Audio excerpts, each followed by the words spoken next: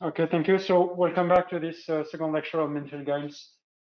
Uh, so in this afternoon, we, we are going to discuss the following two main things. The first one is what I'm going to call the potential case, which is a way to make the connection between uh, Mean Field games, as we saw this morning, and uh, Mean Field control or optimal control of McKean-Vlasov diffusion processes and uh, you will see the connection exactly at this uh, notion of potential games.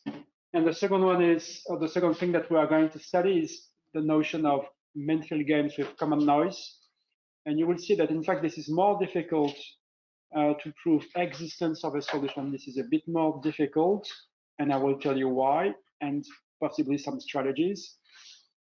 And then uh, I will address a very last uh, question today, which is absolutely central now in uh, in papers about Mean Field games, which is the notion of master equation. In fact, if you remember what we said this morning, we said that when you had a forward-backward system in finite dimension, you could regard this system as the system of characteristics of some nonlinear PDEs. And the example I gave you was Burger's system. And in fact, you have exactly the same for Mean Field games, meaning that when you have a Field game, you can regard the forward-backward system that you have as the characteristics of a PDE set on the space of probability measures. And this is absolutely a crucial object that is absolutely fascinating. And this is what we call the master equation. So what I'm going to say is based on, on joint works with the same people at this, uh, as this morning. Um, so potential games. Um, the very purpose of this section is to make a connection between Mean Field control, as I discussed very shortly this morning, and Mean Field control and Field games. And potential game is a class of Mean Field games for which, in fact, you have that uh, a Mean Field game, said very shortly, is the Pontryagin system of a Mean Field control. You see that it says that the equilibria that you have or within the equilibria that you have, you may have minimizers of a problem that is set on the top of your Mean Field game.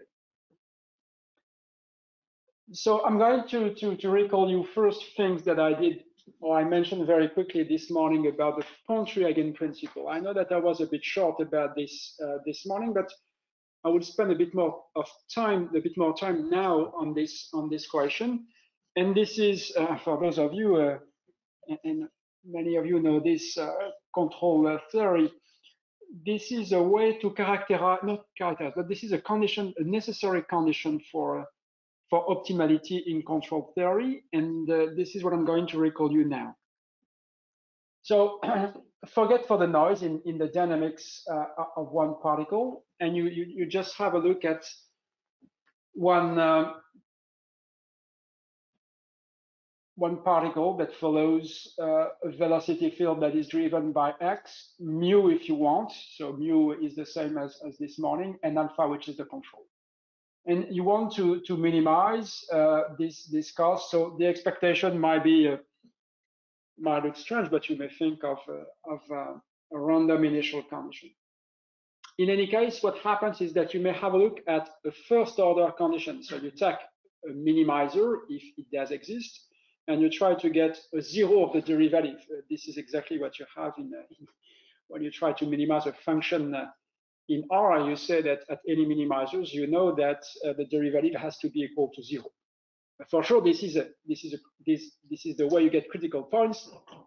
This is a necessary but not sufficient condition, and you would you would like to do the same here for for control theory. And once again, this is the Pontryagin principle. So the very general shape of it is as follows. So you say that the optimal trajectory when alpha star minimizes the Hamiltonian. So you have to remember the definition of the Hamiltonian. Once again, I was a bit short of this this morning. So the Hamiltonian is the velocity field times a dual variable or an adjoint variable that I'm going to call z, and I call this z this morning, plus the running cost. And remember that this morning the role played by z was mostly dxu. So this was mostly the derivative of the value function. And in the FBSDE formulation, I, I was I explained to you that there was another interpretation of the z in terms of the forward backward system. So once again, you can regard this as a possible other explanation of what I said in this section this morning. And so once you have the, the Hamiltonian, you have to remember that alpha star is a minimizer. Uh, the black box is going to disappear in a, in a few seconds. So alpha star is the minimizer of, of, the Hamiltonian. So this is the minimizer over the parameter alpha when you freeze x, mu, and z, okay? So this is the, the local minimizer or the minimizer of your Hamiltonian. And then what you say as a critical condition that you have, you say that the optimal trajectory necessarily satisfies this forward backward system. So once again, as an optimal control, you choose alpha star of x, which is your, your state, mu, which is the environment, and y, which is in fact the draw variable. So the draw variable is very connected to the derivative of the Hamilton, uh, the solution to the Hamilton-Jacobi equation this morning. But here you have another description, and this is in terms of the derivative of the terminal cost and the derivative of the Hamiltonian. So once again, this is what I said. This was a bit quick this morning, but this is another explanation of it. And you know that y, the y that you plug here in the forward equation is in fact is exactly given as the solution of this backward ordinary differential equation. Now this is completely deterministic and, and this makes uh, things slightly easier for the, the reason is that there is no noise in the in the dynamics. This, this is a choice that I did and you will see why I did this choice. So there is no noise and so this is certainly there is no way to penalize the dynamics by means of an additional stochastic integral to force the solution to be uh, to be non-anticipative. So this is easier than what I did this morning. So once again, there is no here, there is no uh, uh, stochastic integral. So, so this is easier. Okay, so this is this is the equation for for optimality, and so you have the terminal boundary condition, the derivative of the cost, and as velocity field, you have the derivative of the Hamilton. So this is what we said, but this is, once again, when there is no noise. And this is a necessary condition, which means that if you have an optimal trajectory, then it satisfies this Pontryagin principle. Okay, now just to be consistent, this is not exactly what I want to say, but just to be consistent with what I did this morning, assume that you have a mean field game in which there is no noise in the dynamics, then one possible way to study the, uh, the equilibria is to replace mu by the law of the solution, the law being computed with respect to the randomness that you have in the initial condition. I'm not going to use that, but this is just to remind you of the shape of the Pontryagin principle, because this is exactly what I'm going to use next in infinite dimension. Okay.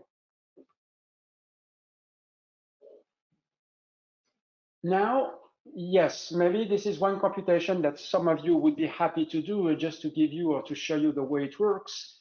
Um, this is a very standard example that you can find in, in the literature. Maybe this would be, this is a good idea for me to explain a little bit this computation. This is what people call linear quadratic mean field games. This is the case when the dynamics are completely linear and also linear in the measure in the sense that what you see as aggregated quantities is the mean state of the population. So this is for the dynamics and the costs are quadratic, meaning that you see somehow square of these quantities. So you see that B, the drift, is linear in X, linear in the measure. So this is a very bad notation, but just you, you see what it means. This is the mean of the measure.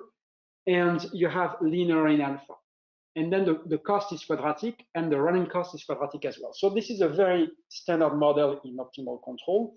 And here the, the only thing is that you, you add a layer of interaction through the mean state of the population.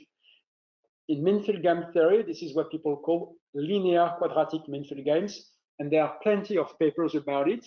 And usually what people do is that they use this as a kind of benchmark to see the way it works, to test some algorithm or whatever what you want but this is very useful to make the analysis.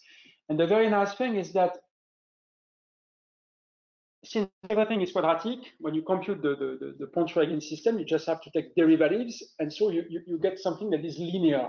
And so it makes the analysis very simple at the, at the, at the level of the, of the Pontryagin system. So this is an exercise that you can do.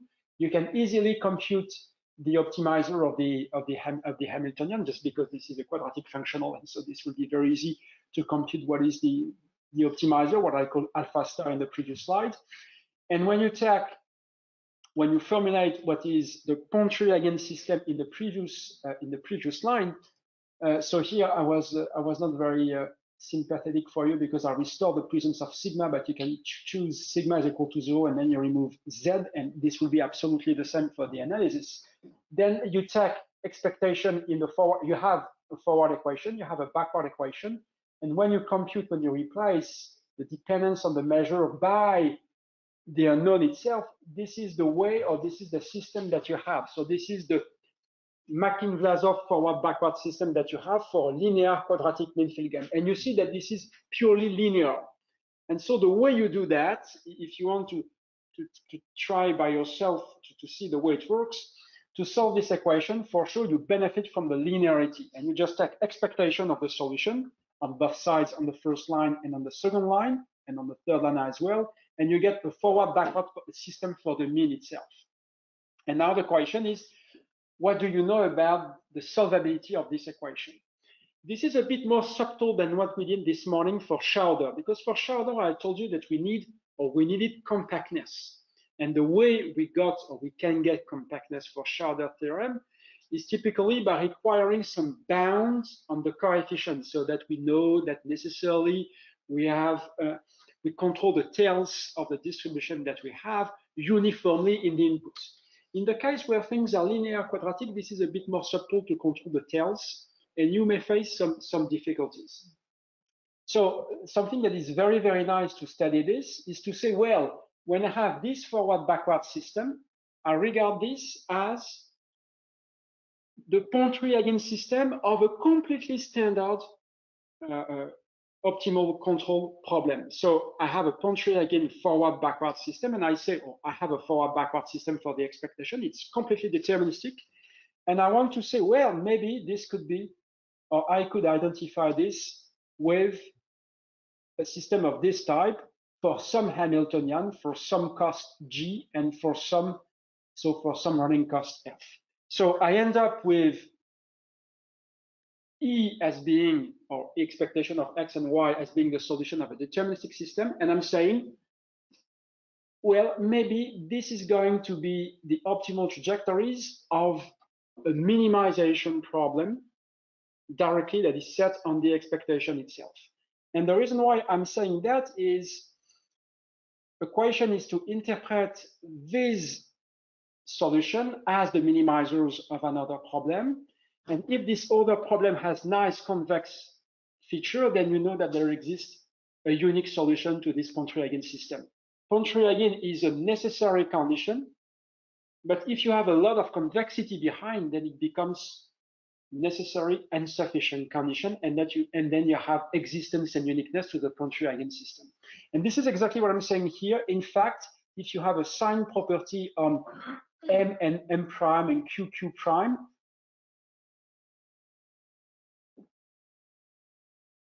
not going this. Sorry. So this is the sign for Q and Q plus Q prime. So you have this sign condition. Necessarily, I'm saying that this system that you have derives from a kind of convex functional, a convex optimal control problem, and then you have existence and uniqueness. So my message here is, is twofold. This is just a way to show you how to implement Pontryagin again in the simple case when you have linear quadratic. And this is also a way to bypass any uh, monotonicity or very general monotonicity criterion, you use a kind of monotonicity because you have, in the end, convexity. So this is a way you see that you recover some some some some convex properties, but this is completely formulated here in, a, in another manner. Uh, so uh, an NMM prime, these are the coefficients that you have here in the formulation of the cost, and the same uh, for for Q and uh, for Q and Q prime. So G depends on, on Q and Q prime. So this is a very easy exercise that you can do independently of what I did this morning. You, you, do all the computation directly. And I think that this is a very basic example. I know that some of you have, have to write a, a small report about the, the, lectures. You can do you can do this as an exercise to illustrate uh, the way it works. This is this is a possibility. So back to my to my discussion. Now I would like to do the same for MFGs. There are two things here. I said I can use Pontryagin to compute what is uh, or to compute a mean field game equilibrium. But now I'm going to do more. I'm going to say, in fact, in some situations, a mean field game itself, in a very general formulation, is a Pontryagin system of a mean field of a control problem on the space of probability measures. So this is not exactly what I said before, but this is connected through the notion of Pontryagin. In the first slides, I used Pontryagin to solve the MFG. Now I'm going to use Pontryagin to give another interpretation of a mean field game. So back to, uh, to our very general uh, formalism. So remember that what I said this morning is that mean field control, so this is no longer mean field game. I told you mean field control, so this is one slide that we saw this morning. You take the same general dynamics as before.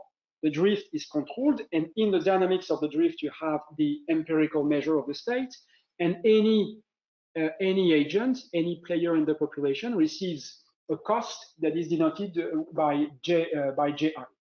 And I assume that there is a central planner that says to all these people, okay, use the same strategy, the same feedback function alpha, which is exactly what I do here. And then I want to optimize the population with respect to alpha.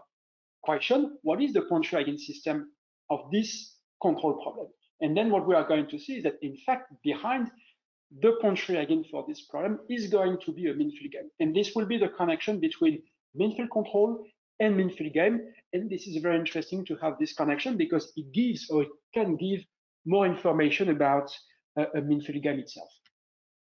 So uh, let me try to, to, to, to, explain to you the way it works. So this is one slide that I have not uh, discussed this morning. This is the asymptotic formulation of the social optimization. So by social optimization or by central planner, this is basically the same. I'm saying that in the particle system, all the particles play the same feedback function. So they, they play the same strategy. The chiefs, the chief has decided of the strategy, and all the particles play the same strategy, but they are submitted to different shocks, to different noises, and so they, are, they, they don't have exactly the same the same trajectories because of the realization of the noise that you have.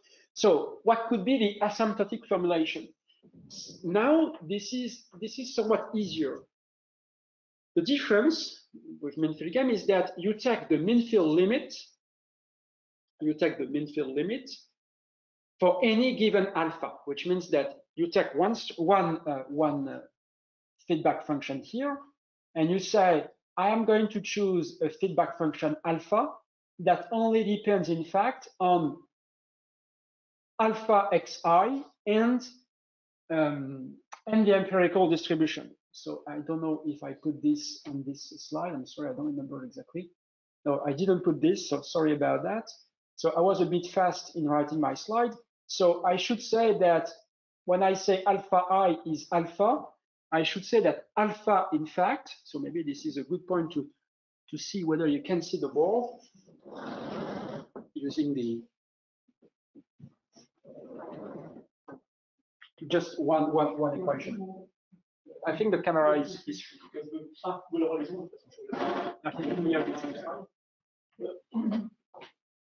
so I'm saying that I'm, I'm going to choose for player i, I'm going to choose alpha t, xti, nu bar. When I say that, in fact, they all use the same, can you see that? I'm not sure. Okay, this is the only thing I wanted to write. So this is the same alpha, but this is not exactly the same feedback function. When I said that, I was a bit cheating. There is a permutation, meaning that there is one dominant player, which is xi, and then you see the rest of the population that is encoded by means of the empirical distribution. So now when you have, when you choose one alpha, one feedback function, you say that the players follow a standard particle system driven by alpha. You pass to the limits on this. So you take the mean field limit for any given alpha. And in the end, what you want to do is to maximize or to minimize, to optimize with respect to the choice of alpha. So this is what I mean here by alpha i is equal to alpha. I was a bit sloppy in the in the in the writing of this uh, of this condition.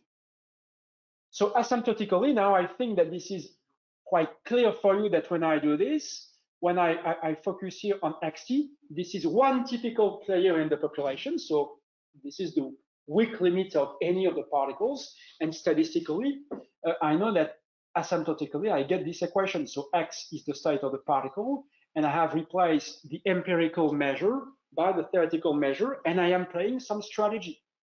And I have the knobs. And I do the same in the in the uh, in the cost functional. I want to minimize the cost to one player, but this is the same as the cost to the society because statistically they behave in the same manner because they work or they have chosen the same feedback function up to this permutation that I was uh, I, I was just mentioning on the on the board. So it means that now in the cost functional, you have replaced exactly the empirical distribution by the law of the by the law of the uh, of the particle itself. So you see that somehow you you put the, the mean field limit before in the mean field game you have the candidate mu, you optimize, and then you have the fixed point. Here you do the mean field limit, and then you optimize next. So that there is a kind of non non-commutativity in the story. This is this is this could be a way to summarize things. So you have this, and alpha is the control of one typical player, and you have to think as alpha t as being uh, as being of the shape alpha t xti, as I, as I explained to you. You could say, what about the mu t? What about the the empirical measure, I don't see the empirical measure in this alpha. Well, in fact, the empirical measure now, this is completely deterministic. So this is encoded to the time dependence of alpha upon time. So this is for free. I can say, well, alpha depends on ut, or I can say, no, this is just a function of time. This is absolutely the same. Um, and what I'm going to do is now to optimize this cost functional with respect, with respect uh, to, uh, to these dynamics. And the dynamics are McKean-Vlasov or are mean fields in the sense that uh, inside you have the law of you have the law of the particle. There is a PDE formulation for this. The PDE formulation is to say that you have here the law of xt that is mu t, and mu t evolves according to a Fokker-Planck equation. So now I absolutely must remove uh, this one, I know that, okay. I have to show you where this is. So this is this, uh, this bottom slide. So here you see, this is the Fokker-Planck equation that you have here. Um, and this is a way to rephrase. This is another formulation of your optimal control problem. So let me, I have to do the same, the same manipulation as before to, to restore the slides. Okay, so behind this, uh, this uh, button that I'm not able to remove, you have the Fokker-Planck equation. This is just to say that you can reformulate this optimal control over McKean-Vlasov equation as an optimal control over Fokker-Planck equations. So depending on your testes, you might prefer the probabilistic formulation or the PDE formulation. Those of you who know optimal transportation should be quite familiar with this formulation. In the Benamou, Benamou formulation of optimal transportation, you have very, very similar things. Uh, this is not exactly stated in this way, but this is not that far. So meaning that you want to optimize uh, uh, the kinetic energy uh, from one uh, uh, initial state to a terminal state. So meaning that at the end of time, you penalize you put that the cost is infinite if you don't reach exactly the target that you want to reach. So this is in fact, certainly you could reset this um, in connection with uh, with um, with optimal transport. There is another difference is that in optimal transportation there is no sigma square. Uh, so maybe we could discuss exactly what it means or remove uh, sigma in uh, in the equation. But this is very very similar to the Benamou-Brenier formulation of uh, of optimal transportation. Um, okay, now I have an optimal control problem. What about trying to get the Pontryagin principle? This is uh, this is a question. So if you want to do that, you say, well, um, I'm going to choose a kind of simple cost structure. This is to make easier the derivation of the, the Pontryagin principle. So you see that I choose little g and little f as being convolution, or this is a kind of ener potential energy given by convolution uh, capital G or convolution kernel capital G and capital F. So you see that I choose a very, very specific structure for the cost little f and little g. And so what I'm going to say really depends on the choice that I did for the cost coefficient little f and little g. And if I generalize, maybe I won't be able to generalize in any manner if I have any g or any f. And so what would be the formal Hamiltonian of the potential of the of the mean field control that I have? So what is the uh, the Hamiltonian? So the Hamiltonian, this is the action of the velocity field acting on a dual variable plus the running cost. So let me see where the running cost is in the story. So the running cost here, I'm claiming that this is exactly at this level. So I have the, the, the control, and this is integrated with respect to mu. Okay, and here this is um, this is the energy, the interaction energy between two clouds of particles uh, driven by the same the same mu. So this is exactly what I have as a running cost. If I choose in my optimization problem now is if I'm replacing little f by capital F. So I'm saying that in this problem, I'm really seeing the running cost as being exactly this energy. So this is an energy. You see, I am given just mu, which is the state of the population, and I see the interaction between two the energy of interaction between two clouds of the same population of the same distribution.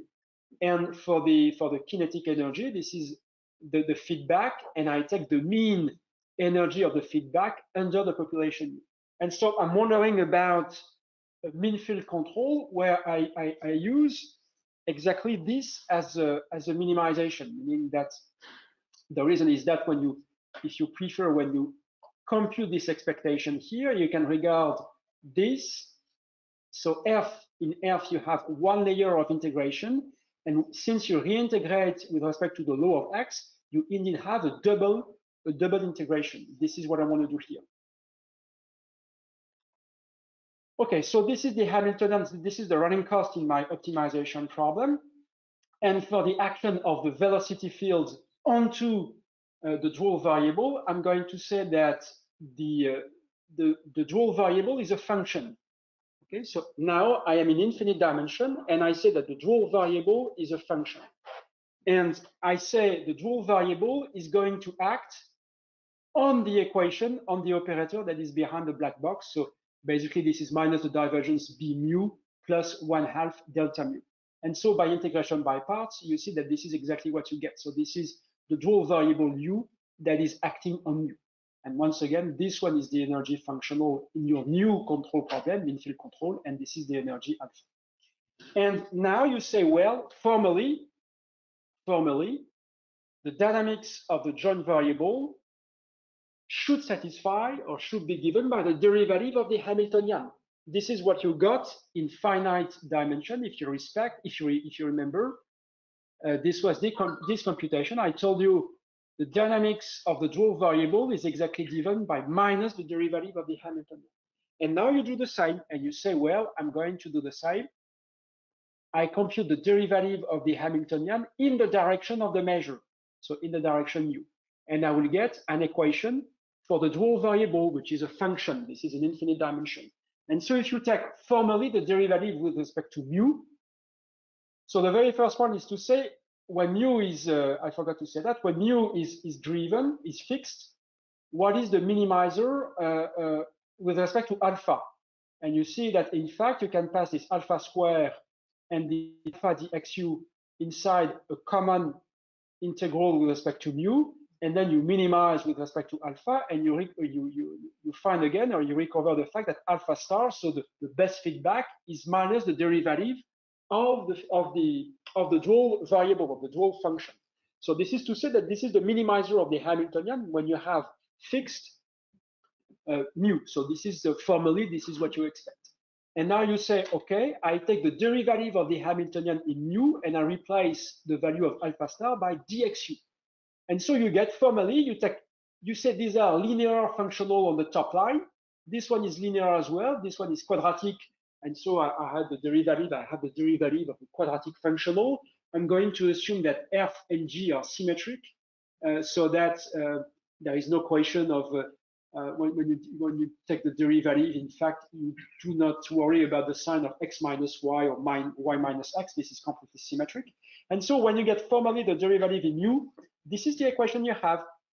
You have that the derivative of u, the derivative of the dual variable, is minus the derivative of this. So you get sigma squared delta x minus the derivative of the cost, and you get exactly uh, you get this uh, plus dxu uh, squared. So I don't know why there should be a minus here. So this is my mistake. There should be a minus. Sorry about this. And here you have minus the derivative of this of this energy, and you get the HJB equation. You get the HJB equation that you have exactly if in, in the mean field game I choose so in the mean field game I have to remove this one half so when I take, when I pass from the mean field control to the mean field game, I have to remove this one half. So you remove the HJB equation that is in the mean field game. So you see that if you start with this uh, with this choice in the mean field control, so I take little g and little f in the previous in this problem. So this is really the mean field control. I take this little g and little f. I take the Pontryagin, again, then I observe that I get a mean field control where I have exactly F with the, without the one half as running cost. So the conclusion of this computation, and, and I think that this is another simple computation that you could put in your report for those of you who have to do that, is exactly to, to see that you can pass from one mean field control to one mean field game just by writing formally the Pontryagin principle. So this is a way to make the connection uh, between uh, between the two. So this is the equation that we obtained for the joint variable. And so now this is uh, this is the shape of the mean field game. So here this is what uh, I just told you. So the terminal boundary condition. This is by derivative. I get g integrated with mu. So this is a little g of x here and mu. So this is the cost or the terminal cost in my mean field game okay? The quadratic the quadratic energy is the same and for the running cost this is what i told you this is the same as before except that by taking the derivative i remove the one half because basically in my mean field control there was a square so when i take the derivative of the square i remove the one half. So keep in mind this story.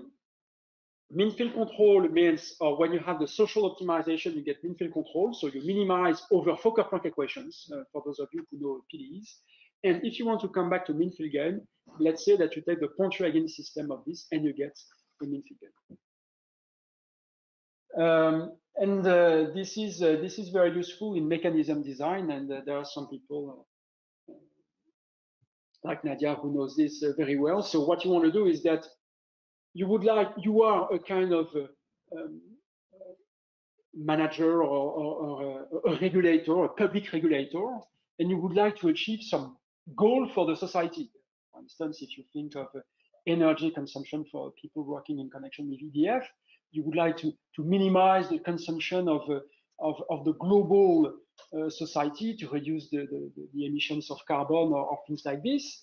But you know that people individually, they act in a quite selfish manner. They, they don't really care about the global society, they just care about themselves. So you say, I'm going to put a kind of mean field control problem on the society and I'm going to say, well, I take the derivative, the formal Pontryagin, and it becomes a mean field game.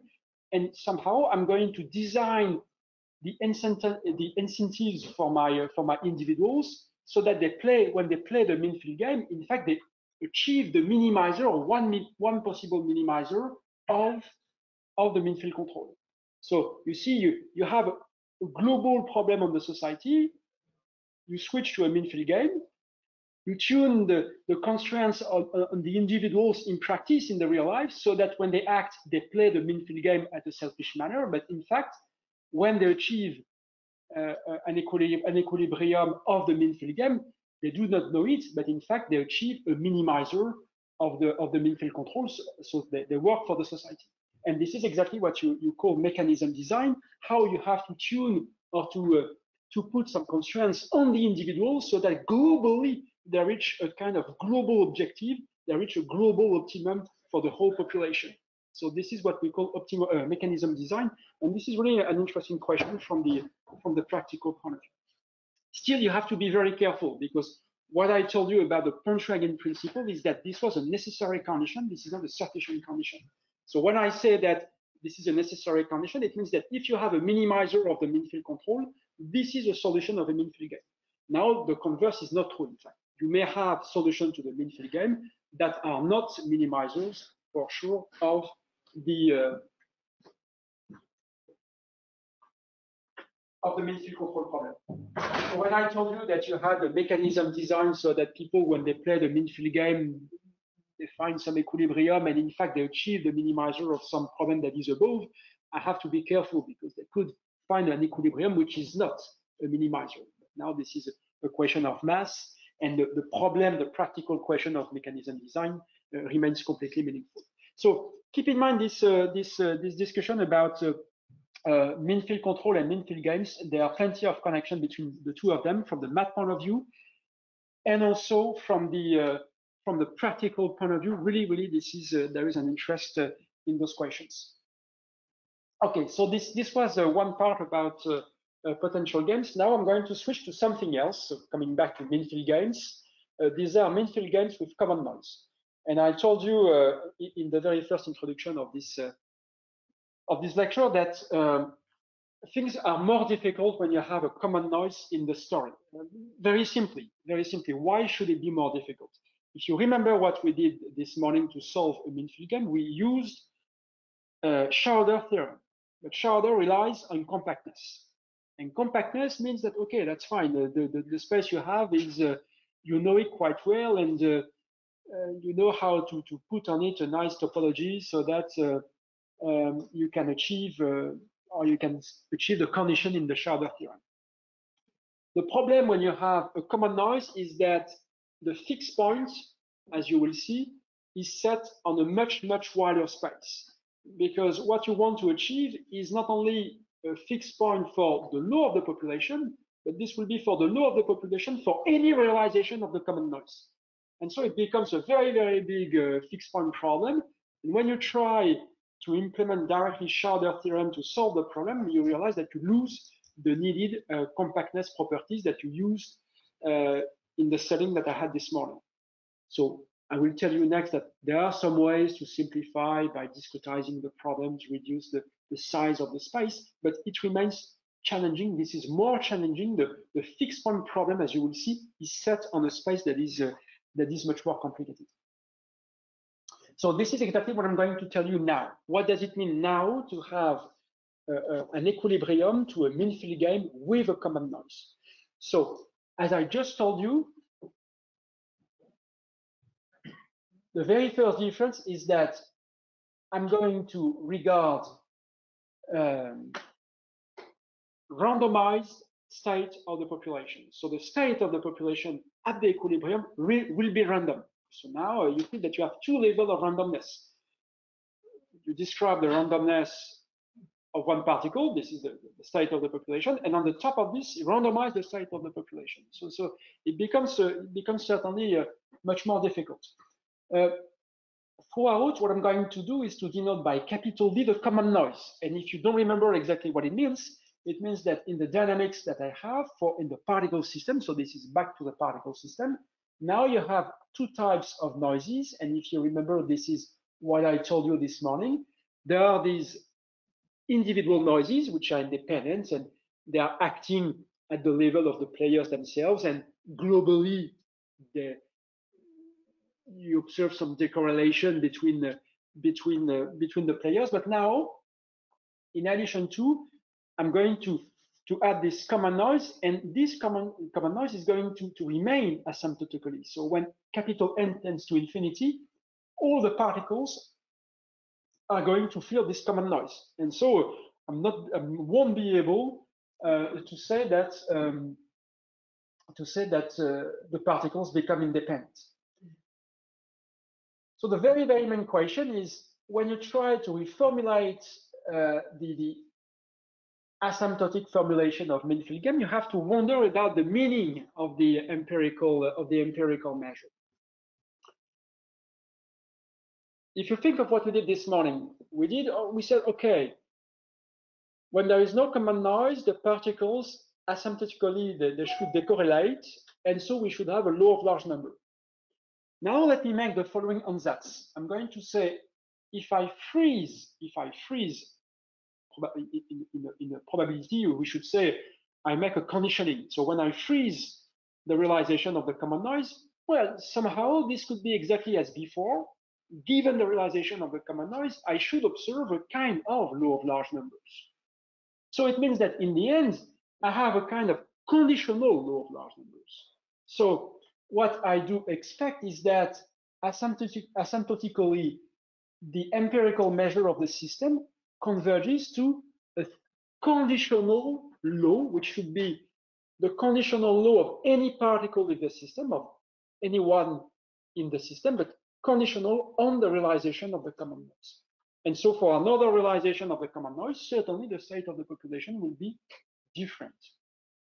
So this is the, the main difference between the, what we are doing now and, and what I did this morning. So for instance, when there is no alpha, when there is no alpha in this, uh, in this equation, if I remove alpha, you get exactly this as possible, uh, as natural candidate for being the asymptotic formulation. You replace, uh, I'm, I'm, sorry, there should be xt here. This is not only x, but this should be xt.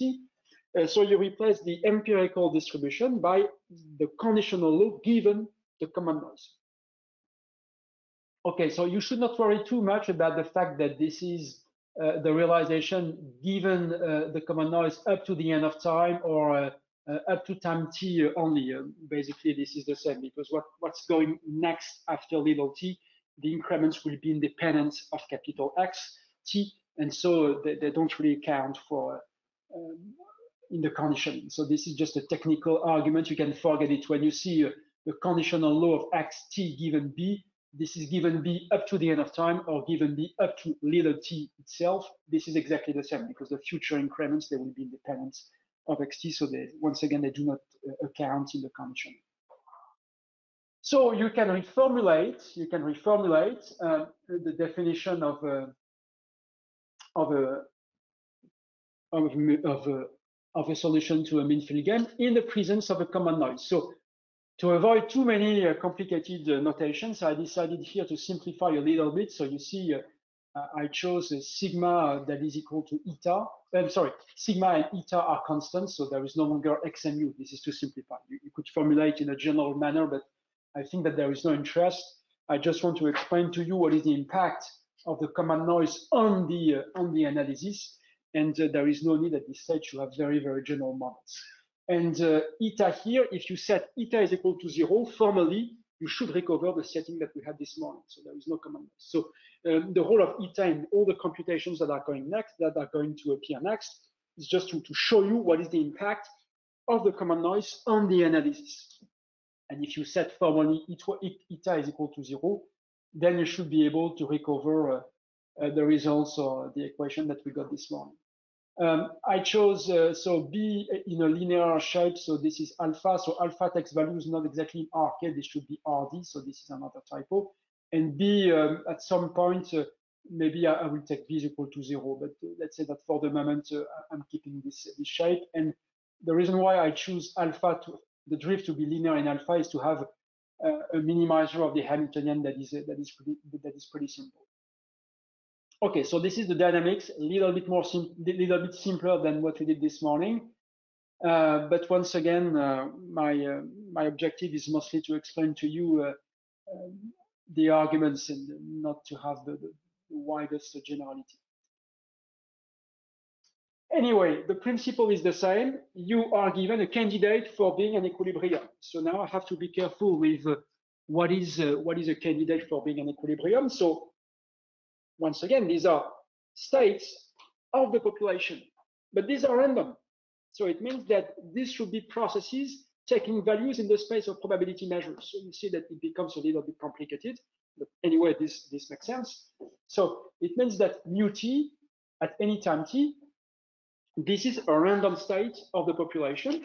And when I say random, it means that it does not anticipate on the future of the noise. You always have this principle that in stochastic analysis, you don't see uh, what's going, uh, what's going, uh, what's coming next.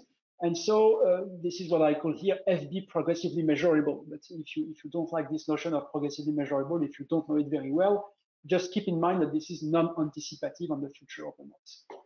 And now you do as, as we did this morning, you say, I am freezing you. I am given the dynamics of one tagged particle in the population. So this is the same as before, but now it seems to be very much the same, except that mu t is mu t is uh, is random. The two noises are independent. W and B they are independent because uh, Wi and B here they are independent. So I should have this independence. And I want to minimize the cost function. Also, once again, I simplified a little bit the shape of the cost functional to have an easier computation. And what I want to do is to say, well, if there is a unique minimizer to this problem for any given u, so once again, this is uh, what you have, uh, this is behind this. So um, um,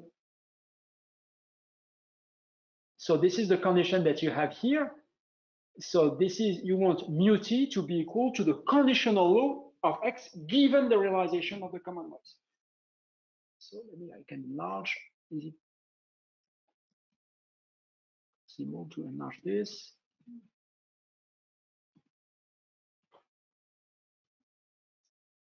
Okay, so I think that now in the room everybody can see. So I really insist on this one. This is absolutely fundamental. This is the main, the main, the hot uh, the hot point in the in this uh, in these slides.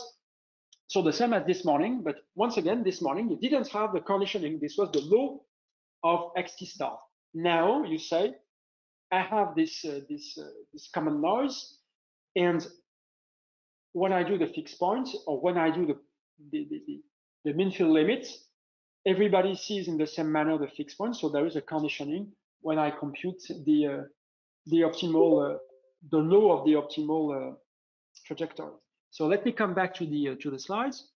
So this was this condition that is uh, that is hidden on the at the bottom line. So now you would like to address existence uh, possibly of a solution. So uh, this is what we did this morning by using a Schauder theorem. Um, and what we did this morning is to address uh, existence uh, by uh, by studying or by using the PDE formulation, at least at the level of the of the HJB equation. So uh, maybe before I discuss existence, maybe a few a few words indeed about the forward-backward formulation. So this is a complicated slide. The reason is that I'm going to meet the PDE formulation that I had this morning and the probabilistic formulation. I'm going to keep the PDE formulation in the sense that I'm going to provide a Hamilton-Jacobi equation for the minimization of the cost functional when mu is given. So this is a PDE. But the very bad point in this PDE is that the environment, which is mu, is now random. So it becomes a stochastic PDE. And the very bad point of this stochastic PDE is that this is backward. If you remember the, the story this morning, the HJB equation was backward. And as usual, you don't want to anticipate on the future of your noise what does represent the value function? It's going to be the remaining cost. So this will be the remaining cost you have to pay given the information you have at a given time. So you are at a given time t, you have observed the common noise up to time little t, and now you see how much you will pay in expectation in the future given the observation that you have, because you have accumulated some information. But still, the cost, the optimal cost in the future should be adapted or should be measurable with respect to the sigma field that is generated by your observation. And so back to my HJB equation, this is a backward equation. If I randomize in a completely naive manner, this is a disaster because the solution is not is not adapted, is not is anticipative on the future of the Brownian motion. So and in fact, this is the reason why this morning I decided to include this FBSDE formulation because I know, I knew that for this, for this slide, this was necessary. And I knew that for this slide, this was necessary to introduce a penalization to force the value function to be non-anticipative. So you have standard PDE, it becomes a stochastic PDE under the presence of the common noise. And bad luck, if you just randomize naively, this is not the right equation because the solution is anticipative. So you have to penalize exactly as I did penalize uh, this morning, except that maybe uh, this is uh, for the PDE uh, uh, for the PDE formulation. Okay, a bit of reference. Now these are a little bit more more difficult results. So we did a book with Cardaliaguet as uh, and you, you, can find this this forward backward formulation exactly in in this book. And uh, Cardal Jägel Souganidis, they, they just released a, a, paper a few months ago where um, they studied this, uh, um, this SPD. But the, the spirit, I'm going to mention to you uh, the spirit, and then you can go to the to these references for more more results. Okay, so I'm sorry, this is a difficult slide. Uh, this one uh, for sure. So the top line, the top line, uh, you should recover the somehow you recover the, the same equation as the one we had this morning. This is the same. So meaning that if I set the top line being equal to zero, this is the same HJB equation as this morning, except that, as I told you, I simplified a little bit the cost, the shape of the dynamics uh, to uh, simplify the form of the Hamiltonian. Really, really, I chose alpha square in the in the running cost, and I chose alpha in the drift so that the shape of the Hamiltonian is very simple. You could try to generalize to more uh, uh, general uh, convex Hamiltonian, but I don't care here. This is not this is not the purpose. Now you see that eta appears here and here. So when eta is equal to zero, that's fine. This is my equation. Now eta is not equal to zero. I have a common noise. So very first thing is that I have a penalization. So you see that this is an equation. So this is the unknown u depends on time and x. I compute the solution to a PDE. I am sitting at a point in time and space, and I compute the solution of a PDE. So the unknown is a function, and I'm going to penalize this function by means of stochastic integral, exactly as I did this morning. For those of you who do know uh, quite well the, the uh, stochastic uh, integration theory, just think of this. This is V. I'm going to tell you what, what is V next, but V times dBT. Basically, you take a time mesh. So you have T0, T1, T2, T3, and so on. And you think of VT dBT as VTI times the increment BTI plus 1 minus BTI.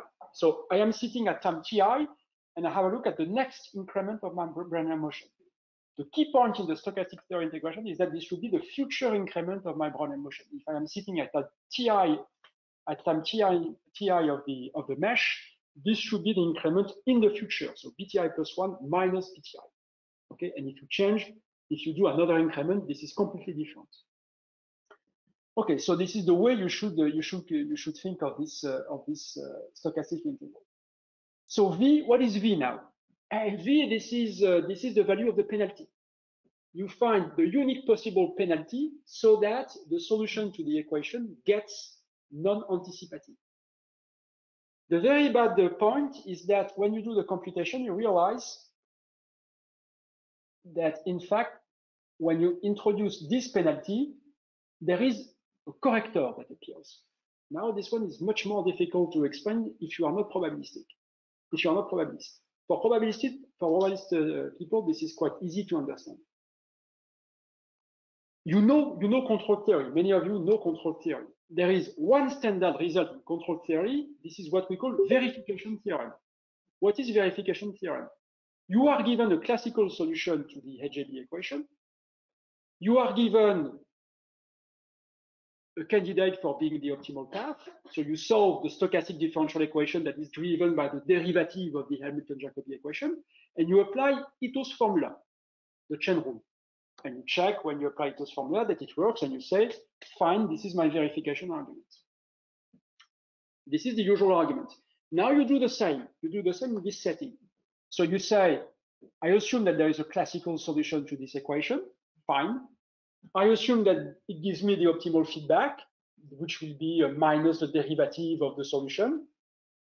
I form or I write down what should be the optimal trajectory. it will be driven by minus the derivative of u. I apply the chain rule.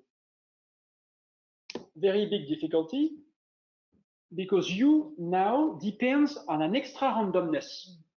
There is not only capital X, the optimal trajectory that is random, there is also the law or the, the state of the population that is random. And you know when you apply Ito's formula that because of the randomness of the arguments, you have to compute the brackets of those arguments because uh, infinitesimally they do not uh, behave uh, very well, they are not of bounded variation. And this is exactly what appears at this level. When you compute, when you compute the, the small variation of u uh, in time, in the verification argument, you are going to pay for the stochasticity of the measure. And so this is what people in probability call Wentzell, Ito-Wentzell term. There is a correction that comes uh, in your in your computation. Uh, okay. So this is the shape of the PDE, and really, really keep in mind that there are two unknown, U itself, but now a penalization. This is a kind of a Lagrange penalization. Uh, this is a way to enforce uh, the solution to the to the equation to uh, uh, to live uh, in the space of adapted uh, processes. And you call this a stochastic Hamilton-Jacobi equation. So one equation that is backward. This is a backward stochastic equation in infinite dimension. So you see that this is a kind of mixture between the two things that we did this morning, the PDE formulation and the forward backward formulation in the stochastic manner. This is really at the uh, interface between the two. Okay, once you have found this, uh, this equation, you say, well, I postulate that the optimal feedback will be minus the derivative of it, provided that the equation has a nice, uh, a nice uh, solution. And I have to compute the marginal law of the SDE that is driven by minus the derivative of u. So it means that when you come back to the dynamics of one particle. So if I come back here, it means that I have to replace alpha, this alpha here, by minus the derivative of the value function. And now I wonder about the conditional law of the solution. What is the conditional law of the solution given the realization of the noise? So I had one question, it was a bit more difficult, the question I had this morning, but this is this was connected. And in fact, what you know or what you can prove by the same uh, duality argument as the one I explained this morning without common noise, you find that mu is the solution of the stochastic Fokker-Planck equation. So you see, this is the same equation as before, fine, fine, fine, plus the stochastic term. And the stochastic term is exactly this one.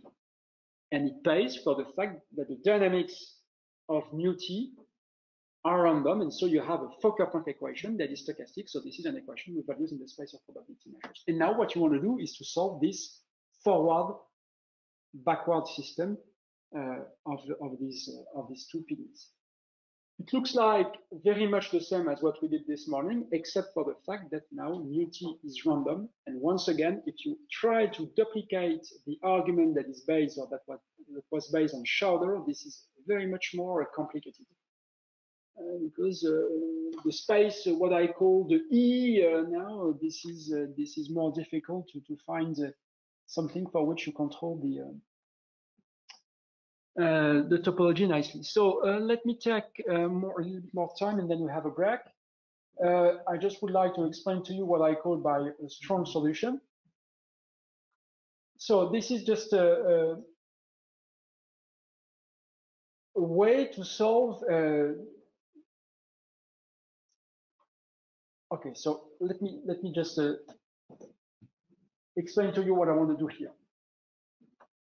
This is a way to recap uh, the two equations that I have to solve. So this is the, the stochastic Fokker-Planck equation. So once again, you have in the presence in eta, the eta term tells you, so sigma is equal to one here, sigma is equal to one, and eta is a way uh, to show you the influence of the common noise. So when eta is equal to zero, this Fokker-Planck equation, this is the one that we had this morning. Once again, sigma is equal to one to simplify, and eta, this is the intensity of the common noise. And if you tune it uh, to zero, then there is no longer a common noise, and you should be able to recover the same equation as the one we did this morning.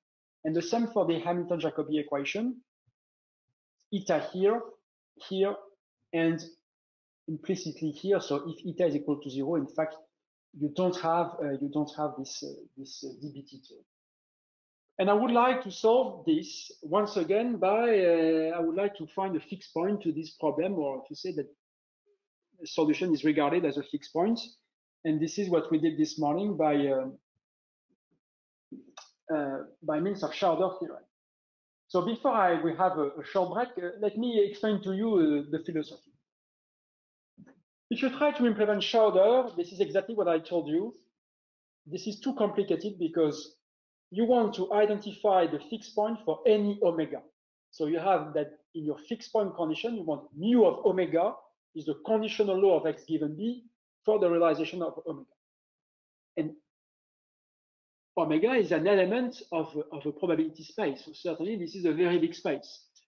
And so it means that the space on which you are trying to solve your fixed point is very, very large. And, this is difficult because once again, to find suitable compactness, uh, it becomes very difficult. There is one paper that I did with Carmona and Lacker where we say one way to do that is to discretize. We, we discretize the common noise to make uh, the space smaller. We solve the, the fixed point and we pass to the limit. This is one way. I'm not going to speak about this. Here, I'm going to speak about something else which is easier. This is a way to get directly existence and uniqueness when you have Lasry-Lions monotonicity.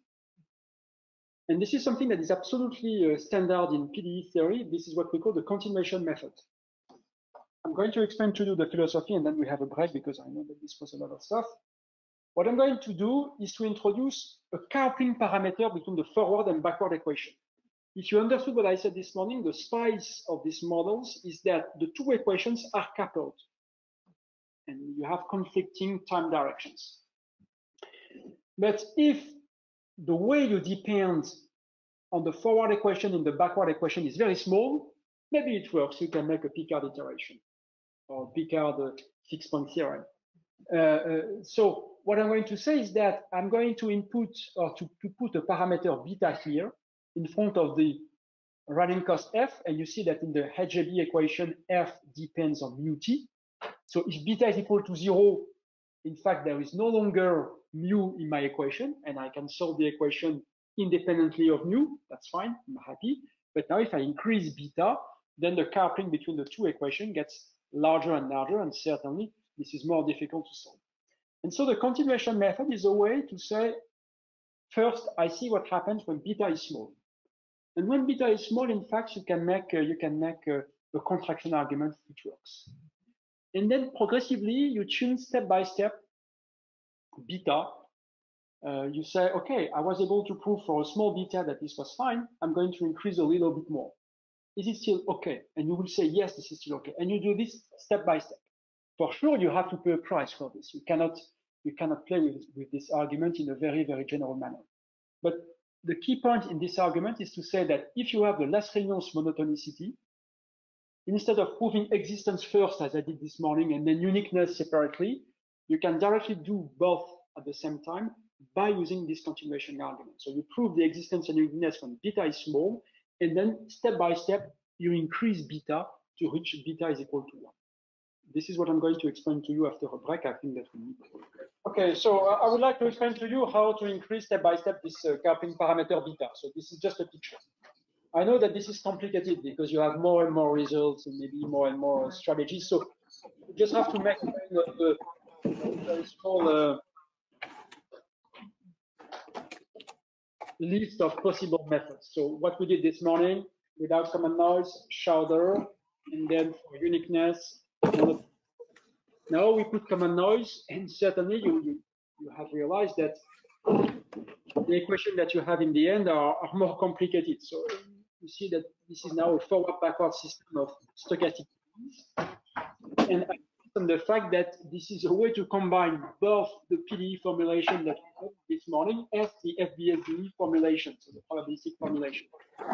Merge, to merge uh, in this uh, uh, system. And I think that a nice, uh, a nice type of, uh, of equations. And now the next question is, okay, I'd like to solve directly the solution to this system. Once again, if I have a solution to this system, it should be a compromise when n is equal to infinity. This is really what I want. So far, I have not made I mean, n is finite. The solution to this system, there should be uh, there should be compromise with n is equal to infinity. I have maybe, maybe somebody online who has the, the microphone open. Okay, let me move forward. So the very first uh, remark that I'm, I'm, going to make is that you can simplify a little bit the forward-backward system. So this is something that we used a lot in, in, the in the results with Pierre, uh, Jean-Pierre, uh, Jean-Michel, and Pierre-Louis. Um, this is uh, this is the fact that um, when you have a model with an additive common noise, you can remove the common noise just by a linear transformation because because the noise is additive. So so and this is something that was very very useful in the analysis. And if the model were more complicated, uh, the analysis would have been more demanding. Um, so you remove x minus eta. Uh, sorry, you, you compute x minus eta bt. So you remove eta bt to x, and you see that now you are going to say that you really uh, focus on the on the law or the conditional law of this quantity. So you see that you have tilde notations. I'm, I'm trying to be as, as simple as possible. I don't want to make things uh, too complicated. But if you see a tilde, it means that we have shifted the system by this uh, transformation. So you take mu and you have a look, you have a look at the image of mu t under this, uh, this shift. So mu tilde, this is the conditional law of x minus uh, eta bt. And when you do that, if you reformulate, if you remove, and this is the same for u tilde, I'm sorry, I forgot to say, for u tilde, you shift in a similar manner, u, which is the value, you shift that by uh, uh, x plus eta bt. And if you do that, you realize that the forward-backward system is a little bit simpler in the sense that you removed, you see, you remove these uh, uh correction terms that I, I, mentioned before, and this is a backward stochastic HJB here, and I remove the noise in the forward equation. So the forward equation is, is a completely standard uh, Fokker-Planck equation, and for the backward equation, you just have the fact that this is uh, this is random because of the presence here of the stochastic integral. But the very good point is that you can not exactly, but more or less have a representation formula for the solution to this backward equation by using the, the kernel of the forward equation. So this is something that certainly people from PDE know here is that when you have this equation here, if you forget the drift, for sure you have the uh, you have the, the, the heat kernel, and this is exactly what I'm doing here. I call P the heat kernel, and I say that I have a representation of the solution in terms of the heat kernel. So the proof of this, uh, this will consist in expanding, in expanding. Uh, you see uh, gamma tilde, this is the boundary condition, and somehow I expand the solution with respect to ps minus t, and here s is equal to capital T, and then I expand u tilde acting on the heat kernel, and I get a very classical representation formula. The key point, the key point is that here to kill, to kill v tilde, to kill this term, you take an additional conditional expectation. So this is an argument that is completely standard in the analysis of backward stochastic differential equation. You remove or you, you, get rid of the stochastic integral by means of conditioning arguments. In fact, if you compute the conditional expectation of this uh, small amount, this small quantity, if you take the conditional expectation given ft, this is equal to zero just because the fact that dbt is going to be independent of the uh, of the of um, the past before t. And you have the very same thing here at the level of the representation formula. And you know that u tilde here, this u tilde, for a given boundary condition uh, gamma tilde, uh, I have this representation formula. So it gives me a way to study the equation despite uh, of the uh, despite of the presence of this v tilde. There is a way to kill this v tilde. This is the the message of this uh, of this slide. So here, this is in the case when beta t is equal to zero, so when there is no noise, or I'm, when there is no coupling, I'm claiming that we can study this equation. This is the, the philosophy. Uh, you can you can you can have access to a representation formula of the solution. And so you say now, I would like to, uh, to increase uh, step by step the value of the coupling. So what I do is that I replace, you see that I replace uh, the presence of f mu. So I put tilde just to say that this is after my transformation. If you if you forgot the, the precise meaning, this is not a big deal. You can just keep in mind that tilde, the tilde transform is a way to remove the noise in the forward equation and to remove the correction term in the backward equation. So this is just a way to simplify the two equations. Once you have understood this, this is enough for my uh, for my slides. So this is my new uh, Hamilton-Jacobi equation, but there is a very small coupling depending on the state of the population. And I would have, I would like to, to get to study this uh, by using a contraction property, using the previous analysis when beta is equal to zero, so when there is no coupling.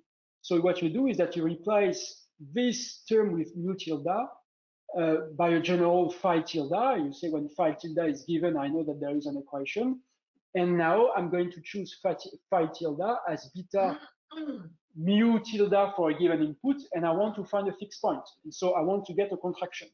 And so the contraction is to say you take two phi, that two phi terms, so one with beta f or f tilde with an input one, and another one with an input mu prime. And you do the same for the boundary condition. You say that when you have the coupling beta g tilde, so this is, you replace this by gamma tilde, you choose this gamma tilde for two possible choices of the environment, mu or mu prime, and you want to get a contraction. This is, this is what I'm saying. And so the result is that when beta is small, you see that you can compute the distances between the solution of the of the equation in terms. So there is a stability argument here that depends. So this is hidden by my black box, but we can presume what it is. This is the distance between the boundary conditions, and this is the distance between uh, between the, the, the, the, running costs somehow. So the, the two fighter. And so when you let the machinery run, you see that uh, you will have a contraction when beta is small. So if uh, if beta is small, you have the fact that, so this is not exactly what I wanted to say. Forget for this slide. I'm sorry. So no, I'm missing my, uh, well, I'm sorry, this was here. So this was here. Sorry, let me come back here. So when beta is small, by using this, uh, this equation, I'm sorry about this, by using this equation, you get a contraction because you replace phi and phi prime by their values, and you say, well, beta small, and if uh, f is uh, is uh, smooth enough, then I will have a contraction. So this is basically the way it works. Now you have to do step by step, and say you increase beta. So this is the next slide, the, the one to which uh, I, I, switched. Uh, so this is forget for this one the consequence of monotonicity. Ah no, this is the, this one. Sorry, I have some trouble. So this is this one. So now I know that uh, I have existence and uniqueness for beta small. And the principle of the continuation principle is to say that you can find epsilon that is uniform, whatever the value of beta in 0, 1, such that if you have existence and uniqueness for a given beta, then you still have existence and uniqueness for a given beta, for beta plus epsilon. So if you know how to solve uniquely the system for beta, then the same holds for beta plus epsilon, whatever the value of beta. So it looks a very strong result. And to do that, for sure, you need additional assumption. And once again, this is where monotonicity is going to come in. And just to explain to you the way it works, when you have when you are given a beta, uh, in fact, you assume that you have existence and uniqueness not only for beta f mu tilde, but also for the same coupling plus a perturbation.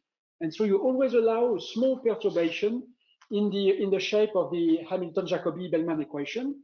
And next, when you want to prove existence and uniqueness, you are going to choose this small perturbation as epsilon f tilde, and the same for the boundary condition. Gamma tilde will be epsilon f tilde, and this will be now inside in this f tilde. You will get or you will put an input, or you will put a candidate for being uh, the uh, the fixed point. But there will be a distinction between the mu that is that is here, which is the solution of the equation for which you have existence and uniqueness as given by the previous value of beta, and the input that you add to the equations, uh, so that you want to to to extend uh, the window on which you have existence and uniqueness. So really keep in mind that this mu here, this mu tilde, this is really the, the solution itself, the solution of the forward equation, was the one that you put you put in gamma tilde and phi tilde. This is really an input. And so you choose two different inputs uh, in the in the term phi tilde and the same in the term gamma tilde. And you want to say that once again, when epsilon is going to be small enough, when epsilon is small enough, then you get a contraction. So you see, if I have this, if I'm able to say that I have a contraction, it means that I will have a unique solution, a unique fixed point when I identify the input and the output. And so the output will be mu tilde itself. So I will have the same equation, but with beta replaced by beta plus epsilon. So this is the way it works. And the difficulty, in fact, and, and for sure, this is the, the, very key point in the proof, is to prove that the, the value of epsilon can be chosen small enough, but small enough independently of beta. And this is where monotonicity comes in. This is this uh, Uh, these few words that you, you, already saw on the slide. So in fact, I, I, don't have time enough to explain monotonicity, where it comes from, but I presume that you can understand that when beta is small enough, there is no need of monotonicity. When you want to increase step by step, certainly it becomes very necessary. And this is where you need monotonicity. So I will stop here for the analysis of this system, as otherwise this would be too complicated and certainly you would be uh, you would be lost. I think that the main message you have to remember is that when there is a common noise, this is more demanding for uh, studying existence and uniqueness. And you can directly do so when you have the additional monotony, monotonicity by using this continuation method, which is quite uh, typical uh, for a forward-backward system. This is a quite a systematic strategy. And you iterate a contraction argument by increasing step by step the intensity of the coupling between the, the forward and the backward equation. So I think this is this is enough uh, for the solvability of uh, of the uh, uh, games with a with a common noise. If you don't have any questions, if you have for sure, I will answer. But if you don't have any questions, now I'm going to jump to the, the, the last part of the day. So um, we are going to restart uh, from something that is a little bit different, and this will be a way for you to to refresh uh, to refresh yourself. Um, this is what we, we call the master equation. So we got existence, uniqueness, existence and uniqueness in the presence of a common noise. But the key point now is to say, I want to see, I want to see the forward backward system that describes the compromise when n is equal to infinity. I want to see that as the characteristics of a PDE.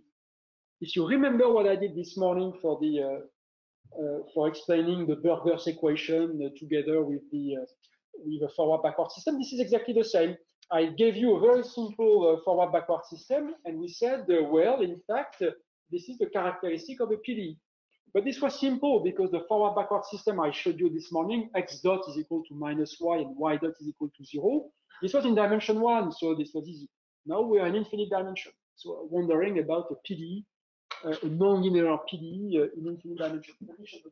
This is the introduction of the of the solution to the master equation. So what I'm going to do is uh, I'm going to assume now that there is existence and uniqueness. For any initial time and initial state of the population, I assume that um, there is a unique equilibrium. So once again, n is equal to infinity, and there is a unique equilibrium, a path, for any given initial state of the population at any initial time.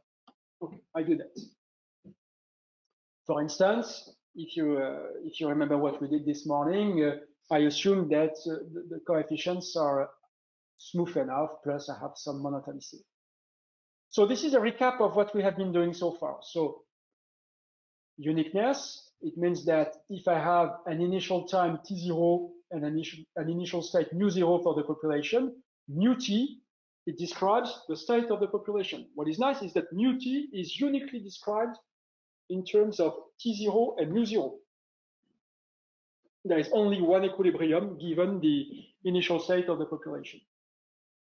At the same time, I know what is the shape of the optimal trajectory, or uh, the equilibrium, I should say, equilibrium, sorry, trajectory. The feedback function is given by the derivative of the Hamilton-Jacobi equation. If you want, you can remove the common noise what I'm going to say remains very interesting, even if there is no common noise. So you just set eta is equal to zero. This is the same from the uh, uh, intuitive point of view or philosophical point of view. This is easier, but uh, the, the philosophy is the same. And mu, what is mu? Mu, this is the path that is that describes the equilibrium. So this is this mu t, but once again, this is uniquely described in terms of the initial state of the population. And what we saw is that mu, uh, u, sorry, the value function was solving a Hegel equation. Forget for the moment the shape of this equation. This was a, a complicated nonlinear equation uh, in the presence of the common noise. If you want to simplify, you assume that there is no common noise, and so you just take eta is equal to zero. And now let me, okay, so let me remove this uh, this this box. I should have a look uh, for tomorrow how to remove that directly.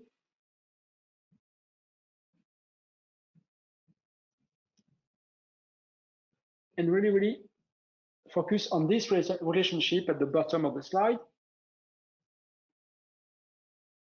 So this is what we are going to call the value of the game. So the value, what is the value of the game? So you say, I am given an initial time, this is T naught. I am given an initial state of the population, this is mu naught. And I am given an initial state for my tagged particle in the population. So I am taking uh, one given player in the population, and I'm saying that its uh, uh, initial state is uh, this x naught and I call the value this calligraphic U. So you see that there is a calligraphic U here. This is what I'm going to call the value at this point. And what is the definition of this? The definition is I have a look at the value solution of the HJB equation. So this is a cost. So this is the optimal cost I have to pay. When I follow the equilibrium starting from this initial state of the population at this initial time. So I am sitting on the equilibrium. And then I compute the best cost or the lowest cost starting from T naught, X naught. So the initial state of the tag player is X naught and the initial time is T naught. And it depends on the choice of the equilibrium, but the choice of the equilibrium is uniquely determined by the state of the initial of the initial state of the population. This is what I'm going to call the value of the uh, of the game. Okay, so what we would like is a PDE for this value, calligraphic So part of the difficulty now is to get an Eulerian description. So we are freezing where we are sitting, and we want to define a PDE or want to get a PDE for this quantity. So we want to get a PDE for the value of the game. One way if you remember uh, your your lectures in uh, in uh, optimal control is to have a dynamic programming principle. If you get a dynamic programming principle, you can have a small time expansion in the dynamic programming principle and then get a PDE for the value. So here, what I'm saying is that, in fact, if you take initial time, initial state, private state, I'm going to say, initial state of the population, mu naught. What is the cost that you have to pay? Well, this is the cost from the initial time to the end of time, capital T. Then you have the running cost, fine. And I know what mu T or mu S is. This is exactly the equilibrium that I am sitting on. And this is the best response when the equilibrium is given. So this is the alpha star, which is given by the derivative of the Hamilton-Jacobi-Bellman equation of the solution to it. And this is the terminal cost. So this is the definition of U. Now assume that I just make a little piece of time. I jump from T0 plus T naught plus epsilon. And I want to see how to express by using the cost or the, the dynamics between T naught and T naught plus epsilon, how to express the value, the value of the game. So I take the formula here, this formula, and I say the value at this uh, at this uh, initial condition. This is the same, but you see that here instead of working from T naught to capital T, I'm just stopping at T naught plus epsilon. Epsilon is very very small, so I'm just doing a, a very small piece of time. And for sure, between uh, T0 or T naught and T naught plus epsilon, I have the, the same uh, the same amount, the same running cost, uh, F, and the same optimal uh, feedback. But then I am missing uh, the rest, and the rest is the integral from t0 plus epsilon to capital T. But what is this? Well, this is how much I'm going to pay when I'm going to restart from where I am at time t0 plus epsilon and where my population is. And so how much do I pay when I restart from t0 plus epsilon the state, the optimal state, x t0 plus epsilon, and the state of the population, mu t0 plus epsilon, well, by definition, this is the value of the game computed at those quantities. And so this is a way to claim that certainly when I have existence and uniqueness, it makes sense to have this dynamic programming principle in the sense that I am able to compute u at a given time in terms of the values of u in a very short future. And now what I'm going to do, well, I'm going to say let us expand these quantities in small time. When epsilon is small, I'm going to make a small time expansion. And if I make a small time expansion, certainly this will be a way for me to get a PDE for this calligraphic uh, U or for the value of the game. This is the philosophy of the master equation. But now if you realize, if you do that, you realize that there is a difficulty and technical difficulty, which has nothing to do with mean-field games. This, this is just the fact that you have to compute the short time expansion with respect to the measure argument. Somehow you have to linearize uh, with respect to the small variation of the measure. And so you need uh, some differential calculus on the space of probability measures, which is part of the things that you have to do. So once again, I insist, you want to expand this in time. Ah, this is the time derivative, this is easy. In space here, this is Ito's formula, this is the chain rule, this is the proof of the verification argument, finite dimensional calculus. But this one, this is infinite dimensional calculus on the space of probability measures. And this is one difficulty. Okay, so here you need a, a very short uh, reminder of what could be uh, differential calculus on the space of probability measures. There are several approaches to that. Uh, and here uh, I'm going to follow Lions' approach, so the one he, used in his, uh, in his lectures. The idea is as follows. The big problem with the space of probability measures is that this is not flat this is infinite dimensional, plus this is not flat. And so when this is not flat, you have to say what it means to make a perturbation. So when you want to compute, uh, you, want, you want to linearize, what does it mean to linearize? This is not so there are two strategies. The first one is to say, well, possibly I embed my space of probability measures into a space of measures, possibly, and then I make a linear path in the space of measures. This is one way. And there is another way, which is regarded as being intrinsic, because there is no way, there is no need to extend uh, to the space of measures, which is to say, when you want to, to make a perturbation of a probability measure, you make a linear perturbation in the space of random variables. So what does it mean? It means that when you have a functional, so as before, this is u. This is simpler than the previous u. Have to, to explain this. This calligraphic U depends on time, X, and the measure. Now to simplify, I'm just saying that this is U of the measure because I just want to explain to you what is the derivative in the direction of the measure. So there is no need to, to keep T and X. But then next, I have to restore the presence of T and X. So to use random variables, uh, the, the, the approach of Lions is to say, I'm going to define a lift of my functional. And this lift is called, let's say, u hat. So this is on the top of u. I take a random variable, capital X, and I can compute the image by the lift as u of the low of x. It does exist. I have a random variable, I compute the low, and I compute u of the low. And if I restrict myself to probability measures with a finite second moment, it means that the random variables that I am looking at are in L2. And the very good point with L2 is that this is a Hilbert space. So I know many, many things about it, and I can do Frechet derivatives uh, as much as I want. And now the next point in the approach of Lions is to say, okay, let me see what it means for the lift you have to be Frechet differentiable. I assume that the lift is Frechet differentiable. What does it mean? So I say, well, well, I assume that the, the or require, if you prefer, I require that U hat is Frechet differentiable. You are in L2. There is a Frechet derivative. So the Frechet derivative, uh, since you are in L2, you can regard this as an element of L2. Okay? So I can regard the Frechet derivative at a random variable x as du hat of x, and du hat of x is an element of L2. This is also a random variable. Now the question for me is how to compute the realization of this random variable.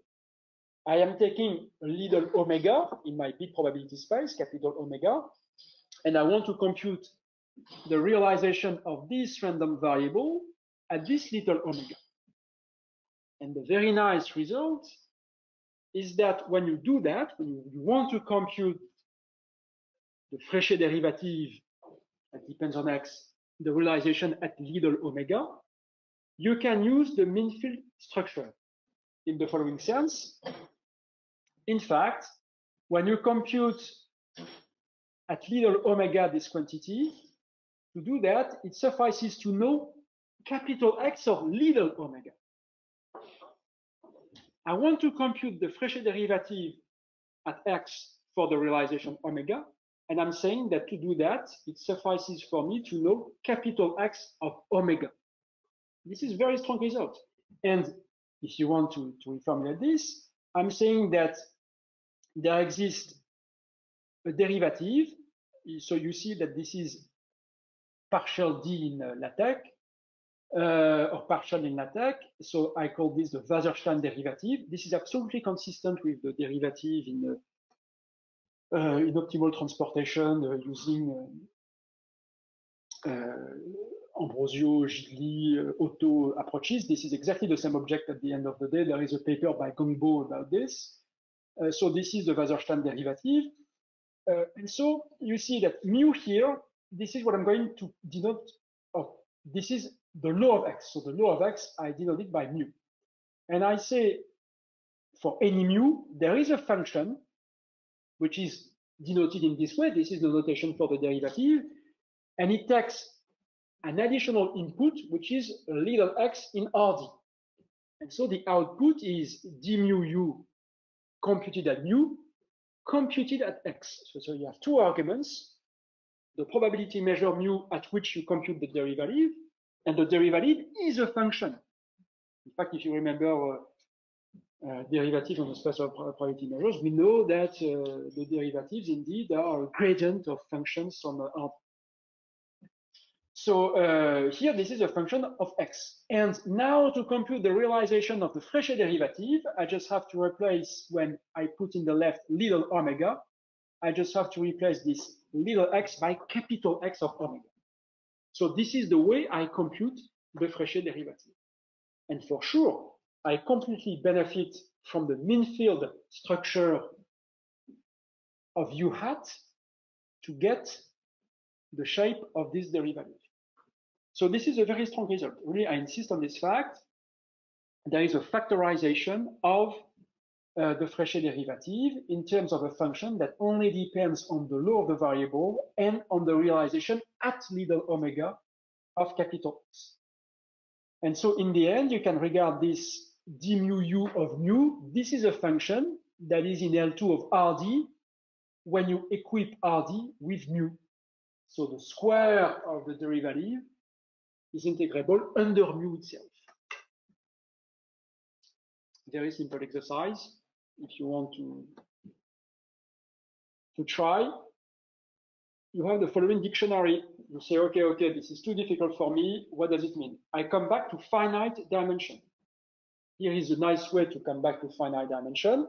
I take inputs, x1, x2, x capital N.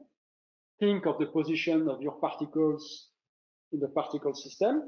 And with those uh, x1, x2, x capital N, I associate the empirical measure or the uniform measure. And I say I can regard u of the empirical measure, and this is a function of x1, x2, xn. And I can compute the Euclidean derivatives. And what is the expression of the Euclidean derivatives in terms of the Wasserstein derivative? So this is the formula, and you can press the button uh, to have the, the computation. So you take the derivative in the direction xi, okay? There is 1 over n, so there should be 1 over n. This is exactly what you get. There is one derivative, so there is the Wasserstein derivative. What is the measure at which you compute this derivative? This is 1 over n delta xj. And what is the realization at which you compute this derivative, this function? This is xi itself. So you can do this argument, and if you if you're a bit uh, if you're a bit skeptical about what I'm saying, let me see what you have if you press the button here. Maybe nothing. No, it works. Uh, so you see that, okay, the very nice point with Lions' approach is that you can compute the Frechet derivative on any probability space that you want. In the end, in the end, this will be the same because we pass from one probability space to another probability space by some by some mapping. So I say to compute my results, I take theta, a random variable that is uniformly distributed. I'm sorry, there are some typos. Uh, that is uniformly distributed, distributed on one n. So theta, probability that theta is equal to one is one over n, theta is equal to two is one over n, theta is equal to n is one over n. So this is uniformly distributed on one, two, three, capital N. Now I say I compute x theta. x, this is the same vector as before, x1, x2, xn. And I create a random variable with this, which I denote by x theta. This is random. It is equal to x1 with probability 1 over n, to x2 with probability 1 over n, and to xn with probability 1 over n. So what is the law of x theta? Well, this is the empirical distribution uh, uh, that I defined, or this is the uniform measure on x1, uh, x capital N. And I make a very small perturbation of it. And I say, okay, since these are two random variables, I know that it expands as Frechet derivatives. And the first order term will be the Frechet derivative at x theta, which is my random variable, acting on y theta. Very good point. On the space of, of uh, random variables, the perturbations are linear. So the, what is the perturbation here? This is just y theta. So the derivative in L2 is acting on y theta. I don't care about the, the remainder, so it, it will be, disappear when I compute the derivatives. And so keep in mind the shape of uh, the Frechet derivative. What I told you is that the shape of this Frechet derivative, this is the Wasserstein derivative at the law of this guy, so the law of x theta, but I told you that this was a uniform measure on one end, and this is computed at the random variable x theta. So I have this d mu u law of x theta x theta acting on y theta. But now this is very easy. Even if you don't like probability, you know how to do that. The probability that theta is equal to i is 1 over n.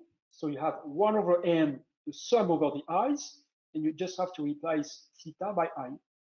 And now you see that uh, when you have a perturbation in direction yi, you see that the derivative is exactly 1 over n times this quantity. And so this is your derivative.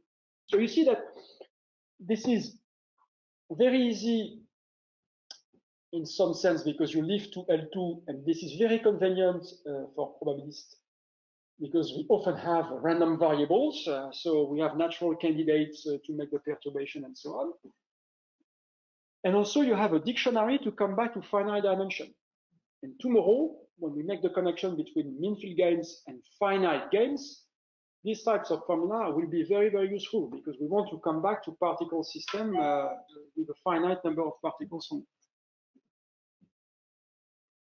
Okay, so this is uh, this is uh, the proof of this. So uh, once again, this might be something that you could put in your report if you have to make a report. I think these are nice exercises and maybe it makes connection with things that you saw in the optimal transportation. Okay. uh, I recall you. I recall uh, what we wanted to do. I remember. Uh, I recall you what we wanted to do. We wanted to have a chain rule.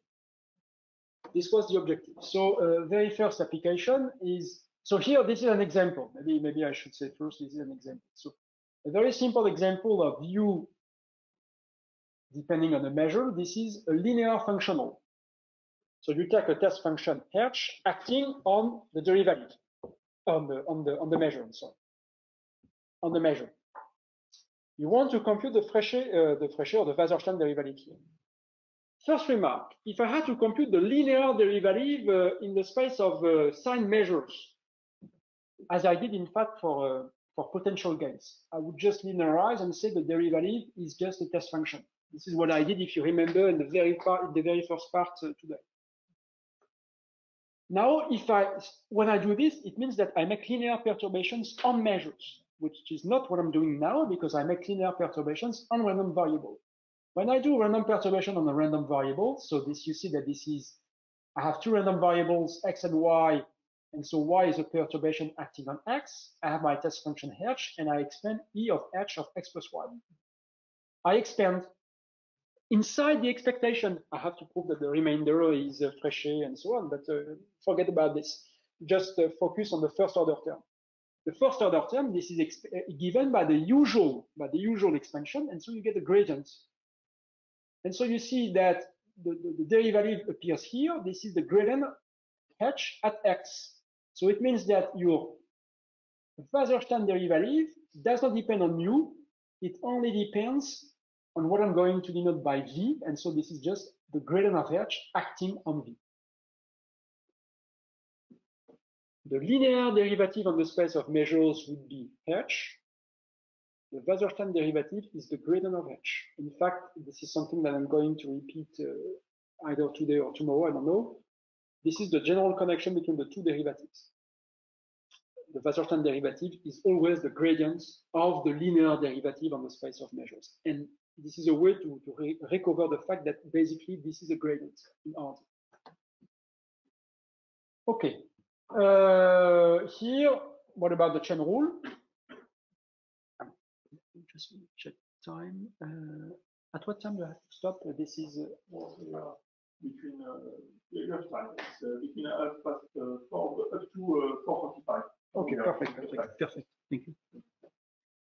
So back back to the chain rule. First instance, and maybe you know this from optimal transportation as well. I take a function on the space of uh, an ODE, I take an ODE, and I want to see what is the small time expansion of my functional U on the space of probability measures along the law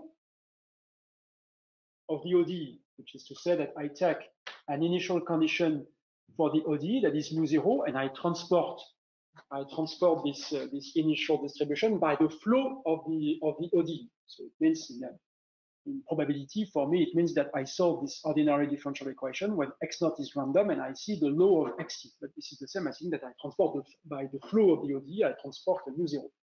And so I wonder about the small time expansion of u of mu t. I use uh, Lions', uh, Lions' derivative or Lions' approach. This is E. There is no, there is no E here. This is, this is a mistake. There is no E this is u uh, this is u hat of xt. So for, for, forgive me, there is no no expectation.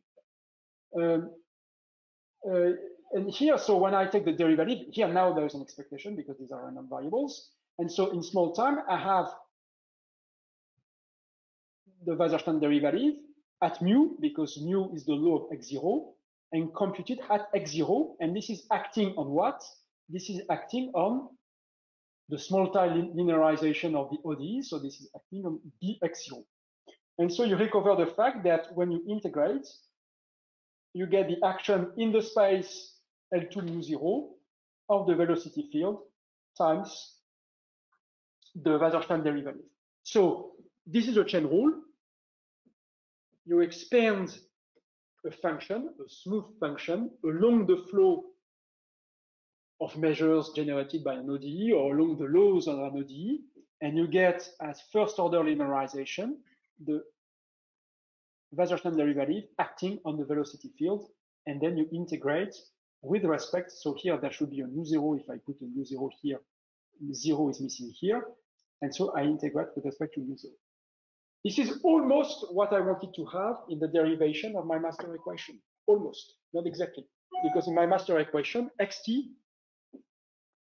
xt has a stochastic term. So it, it must be more difficult because you know that for the chain rule, for the usual chain rule, this is more difficult because I should keep track of the second order term of uh, in Taylor's formula, there is the one half. So here I should have the same. So so now what what would be uh, what would be the the analog? Okay, so very uh, very few words about the second order derivatives. When you have your first order Wasserstein derivative, you can have a look at second order derivatives, and there are two ways to do that. Either you take the derivative in v, which is one variable in your Wasserstein derivative, or you take a new derivative in mu.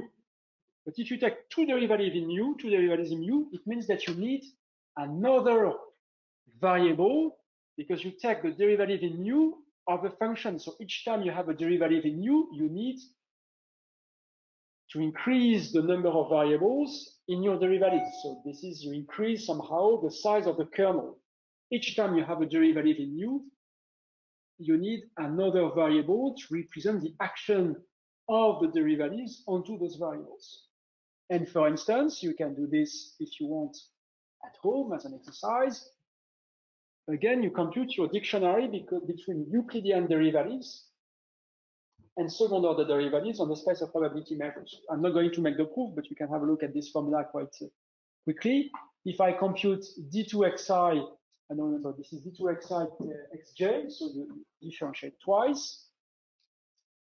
So you will see uh, when you do this, so you have 1 over n dv d mu and 1 over n squared d2 mu. Okay, and there is, uh, for the first one, uh, i must be equal to j. So, so you can do this exercise. And this is very interesting because it says that they don't have the same order. One, the first one is of size 1 over n, and the other one is of size 1 over n squared. And in particular, it says that when I'm going to expand u along the law of the stochastic differential equation, I will keep this one, but the second one is going to disappear. So this is what I'm going to see next. So you can find this exercise. Uh, this will be on the slides. Uh, so so, and you can do it uh, quite uh, quite easily uh, using the, the, the first order relationship. And so now you have this formula. This is what I claim. So you take. So you see that you have a process bt dwt uh, dbt, and you want to expand u of mu t, where mu t is this is the law of xt. So this is the law of xt. And so this is another exercise that you can do, at least formally, and maybe in your report it could be also something that you could put. You say, I approximate x by a particle system. So I just take uh, independent copies. This is very simple particle system, just independent copies. You see, this is what I'm doing here. I apply standard Ito's formula in dimension capital N or capital N times D, and I pass to the limit. And this is what you should have as very big formula for your channel. So U of mu t, you will find the action of the drift onto the first order derivative. This was the chain rule for ODE. You have this dv d mu. This is the 1 over n that I got in the previous uh, slide. And then here you have, uh, so maybe my formula is, is, is not really good because if eta, if I had put a eta here, you would have seen that these lines, the last term, sorry, the last term uh, disappears if there is no common noise. So here, this is just because you have common noise. But since the intensity of the common noise is one on this slide, you don't really see the impact. So I was stupid when uh, I wrote this formula, but the, the formula is correct. But uh, this is a, a pity because you don't really see the impact of the common noise. And so in fact, this second order derivative d2 mu, it comes from the common noise, and this one you see that it comes from the common noise because you have dB. You will have dB. So, so the second line, you have to think of this as being a kind of Ito's formula. So you have the one half and the action of dB. And so if you remove the common noise, maybe this is easier for you. You just remove the second line and you, you, you remove the conditioning by B. The conditioning by B, this is absolutely normal because you expect everything to be conditional on the realization of the command. Okay, so you have set your, you have set your, your, you, you obtain your Ito's formula. You come back to the dynamic programming principle. So this was a long time ago in our discussion. So you come back to this slide. You expand. This is a bit more difficult because uh, now uh, it depends on time and on X. Okay, anyway, you can do that in a quite uh, similar manner. You can do it if you want as an exercise when eta is equal to zero, when there is no common noise. So when there is no common noise, this one is completely deterministic. So uh, this is pretty, pretty easy to, to generalize the formula. And you say, when you do the expansion, the small time expansion of this, well, it should give me a zero by dividing both sides so first I'm going to remove the initial boundary condition. So the value of this at time when epsilon is equal to zero is going to cancel with the left-hand side. Then I divide by epsilon and I obtain the PDE. And this is the shape of the PDE.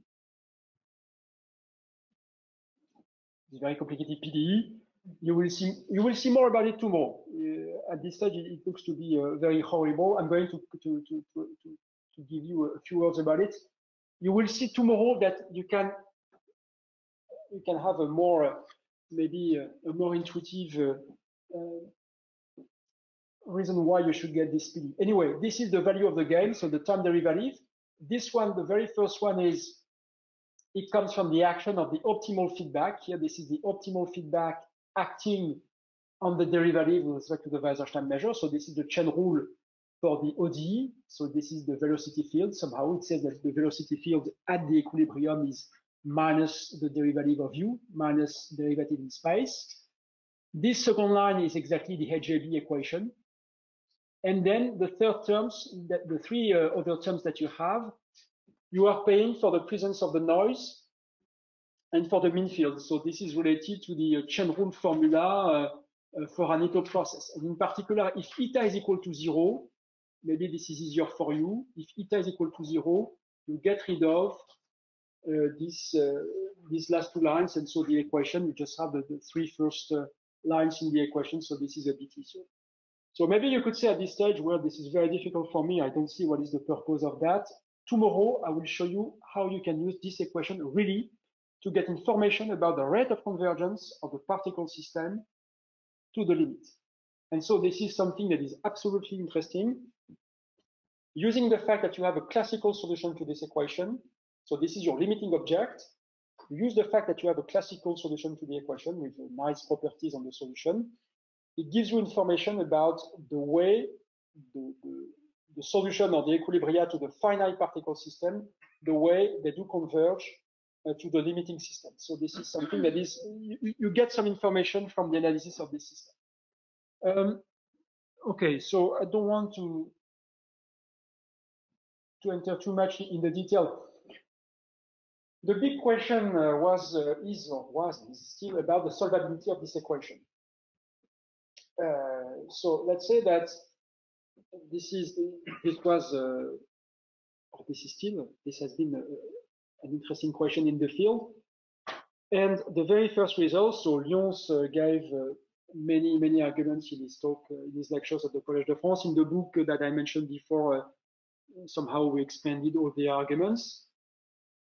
And the main result that we proved is that you have classical solutions, so the derivatives really exist and make sense, when the coefficients are smooth enough in x, in the direction of the measure, and you have monotonicity.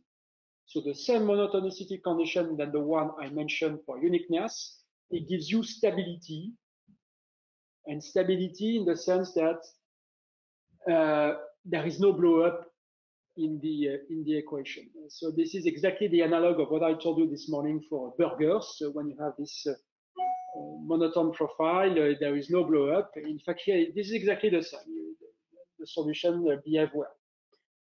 Now there are several directions uh, at this time, uh, so you can try to relax the, um, the regularity conditions on the coefficients, but still keep monotonicity.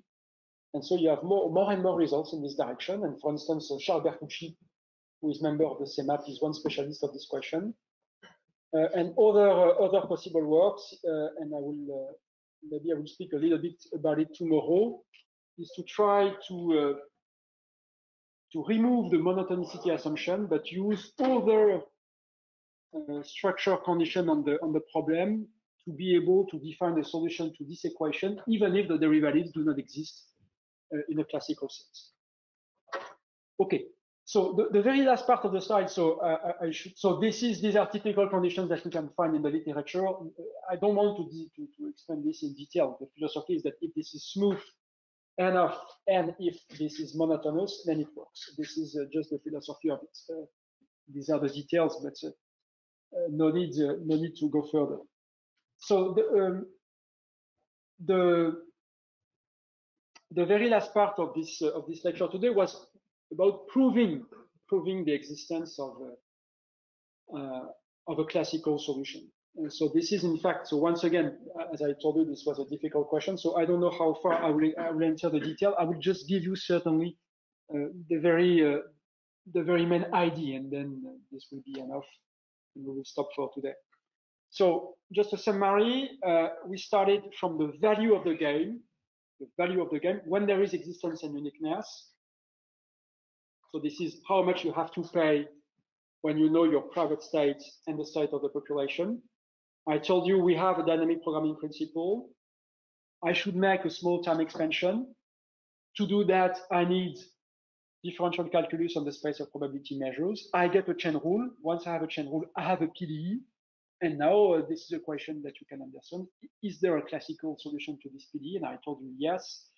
If I have uh, um, smooth enough conditions plus uh, plus monotonicity. So very quickly, how does it work? Uh, there are several proofs uh, for for the for the existence of the classical solutions, but let's say that basically the the philosophy is always the same. Now there are plenty of ways to write down the proof, but it works more or less always in the same way. if you know PDE quite well, the analysis is to come back to the characteristics.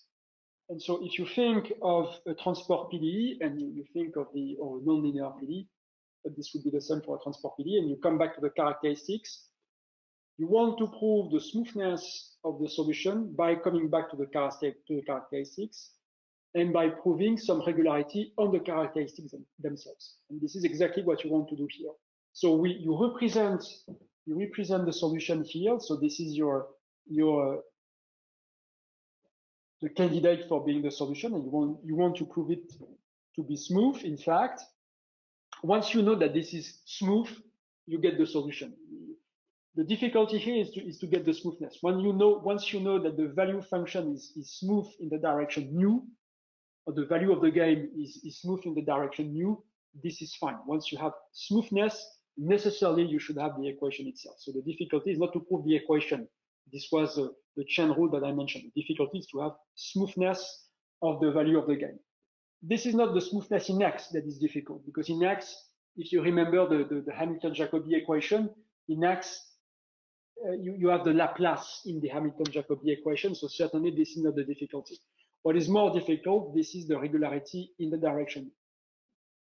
And so to do that, you want to come back to the representation of the value of the game as or in terms of the solution of the HJB equation when you have initialized the flow of probability measures at mu zero itself.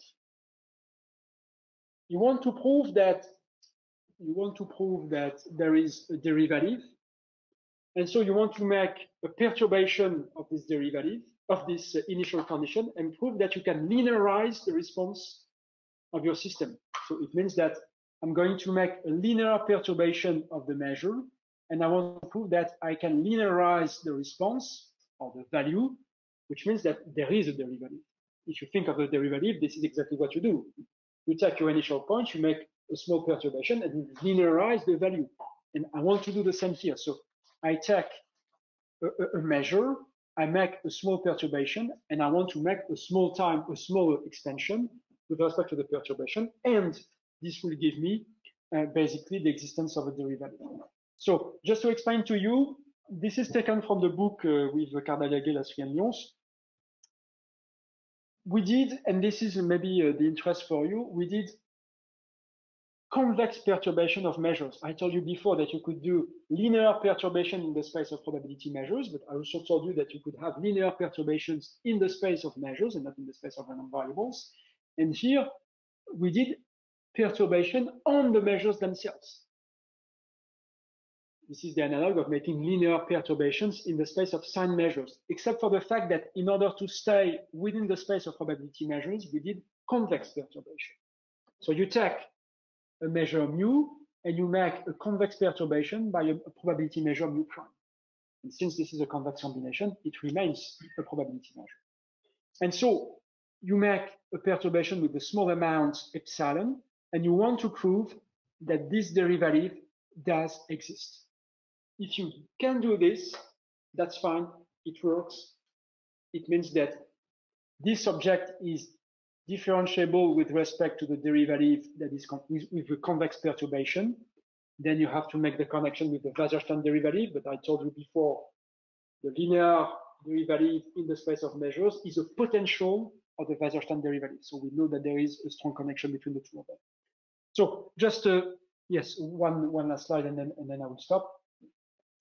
Uh, no, not this one. I want yes, for those of you, just for those of you who want to, to, to who are interested in this question, this is the connection between Wasserstein derivative and derivative in the space of measures. So uh, uh, the fact that the second one is a potential or the first one is a derivative of the second of the first of the second one. So here I, I put you the results and, and this is corrected uh, if you press on the button.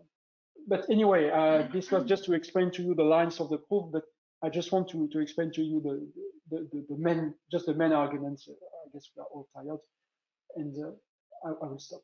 So this is exactly the linearization argument.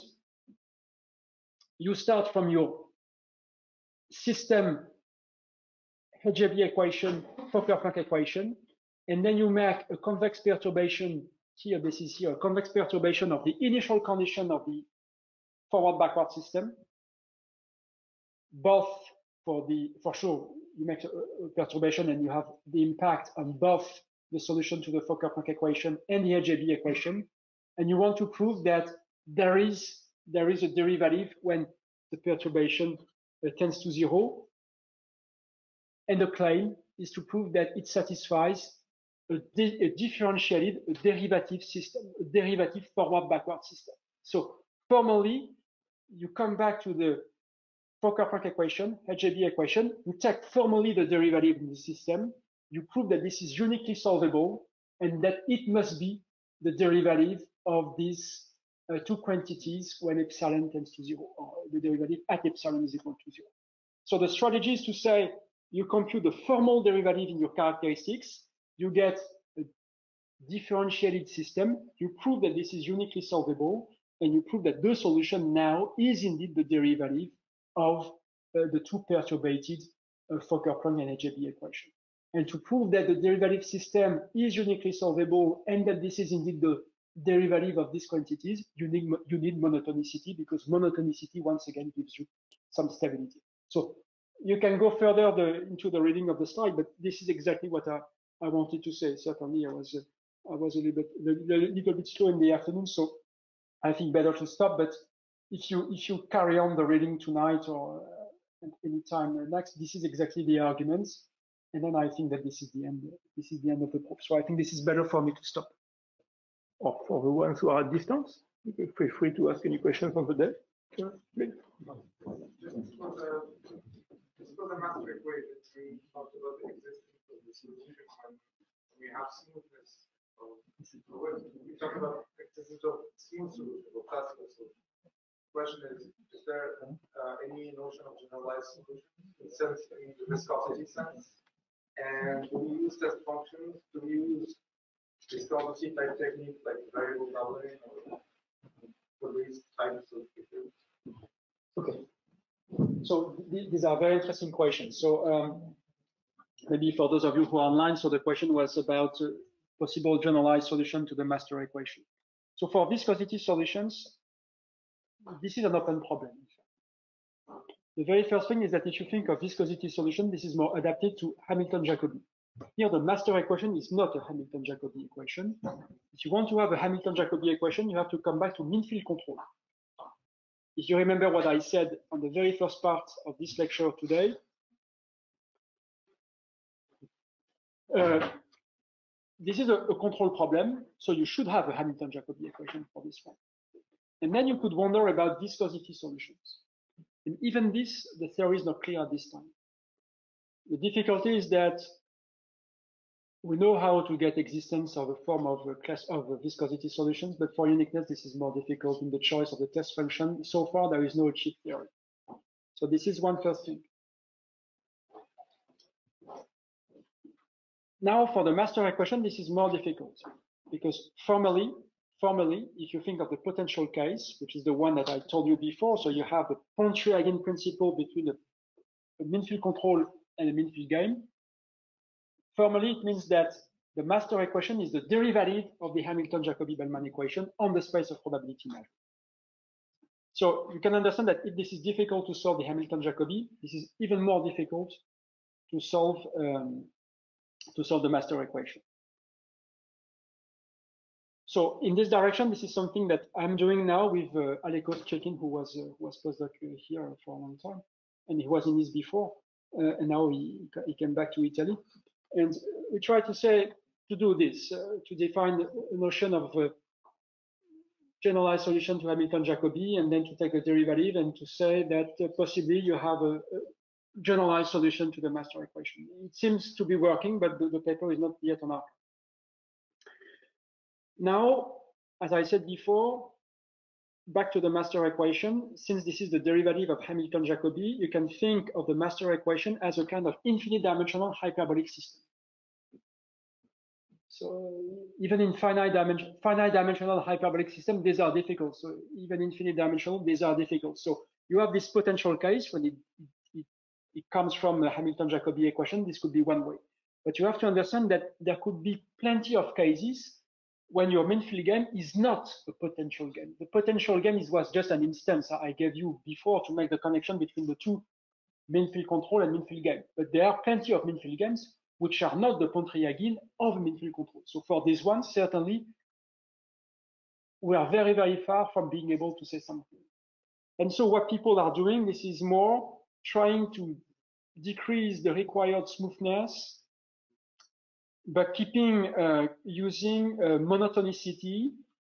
And this is not exactly viscosity solution. Certainly, uh, in the works of Bertucci, who is another person here in, in CMAP, um, he used a notion of test function, but this is not exactly the same as in as in monotonicity as in viscosity solutions. There are things that are reminiscent, but I could not say that this is exactly the same as uh, as um, as in viscosity solutions. So indeed you decrease you decrease the, the required smoothness by playing with suitable choice of test functions, but what he does really uses uh, monotonicity.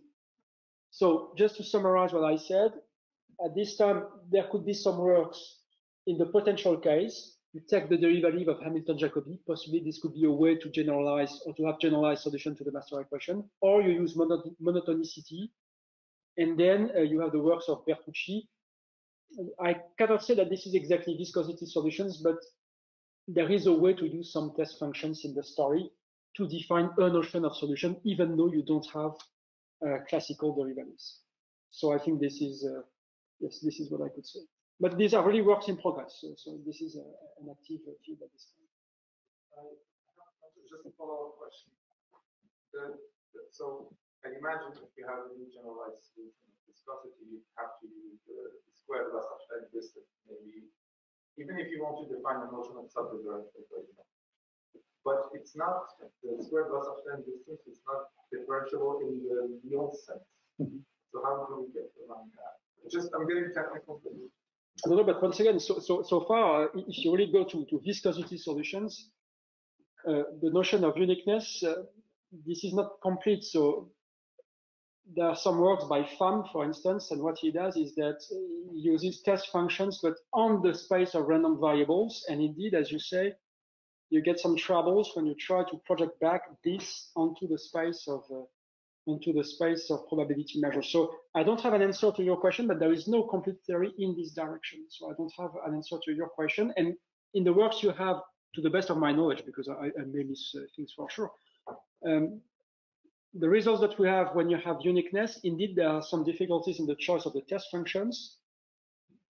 And the existing works, you you choose uh, test functions in the L2 space of random variables to avoid these kind of difficulties. But then the notion of solutions that you have in the end is not intrinsic. So, so I cannot say that this is um, the theory is complete. I'm sorry, my, my answer is partial, but the knowledge is partial. Are no other questions, so let's thank again François for today. And let's meet again tomorrow at 10, uh, 10, 10 o'clock in the morning.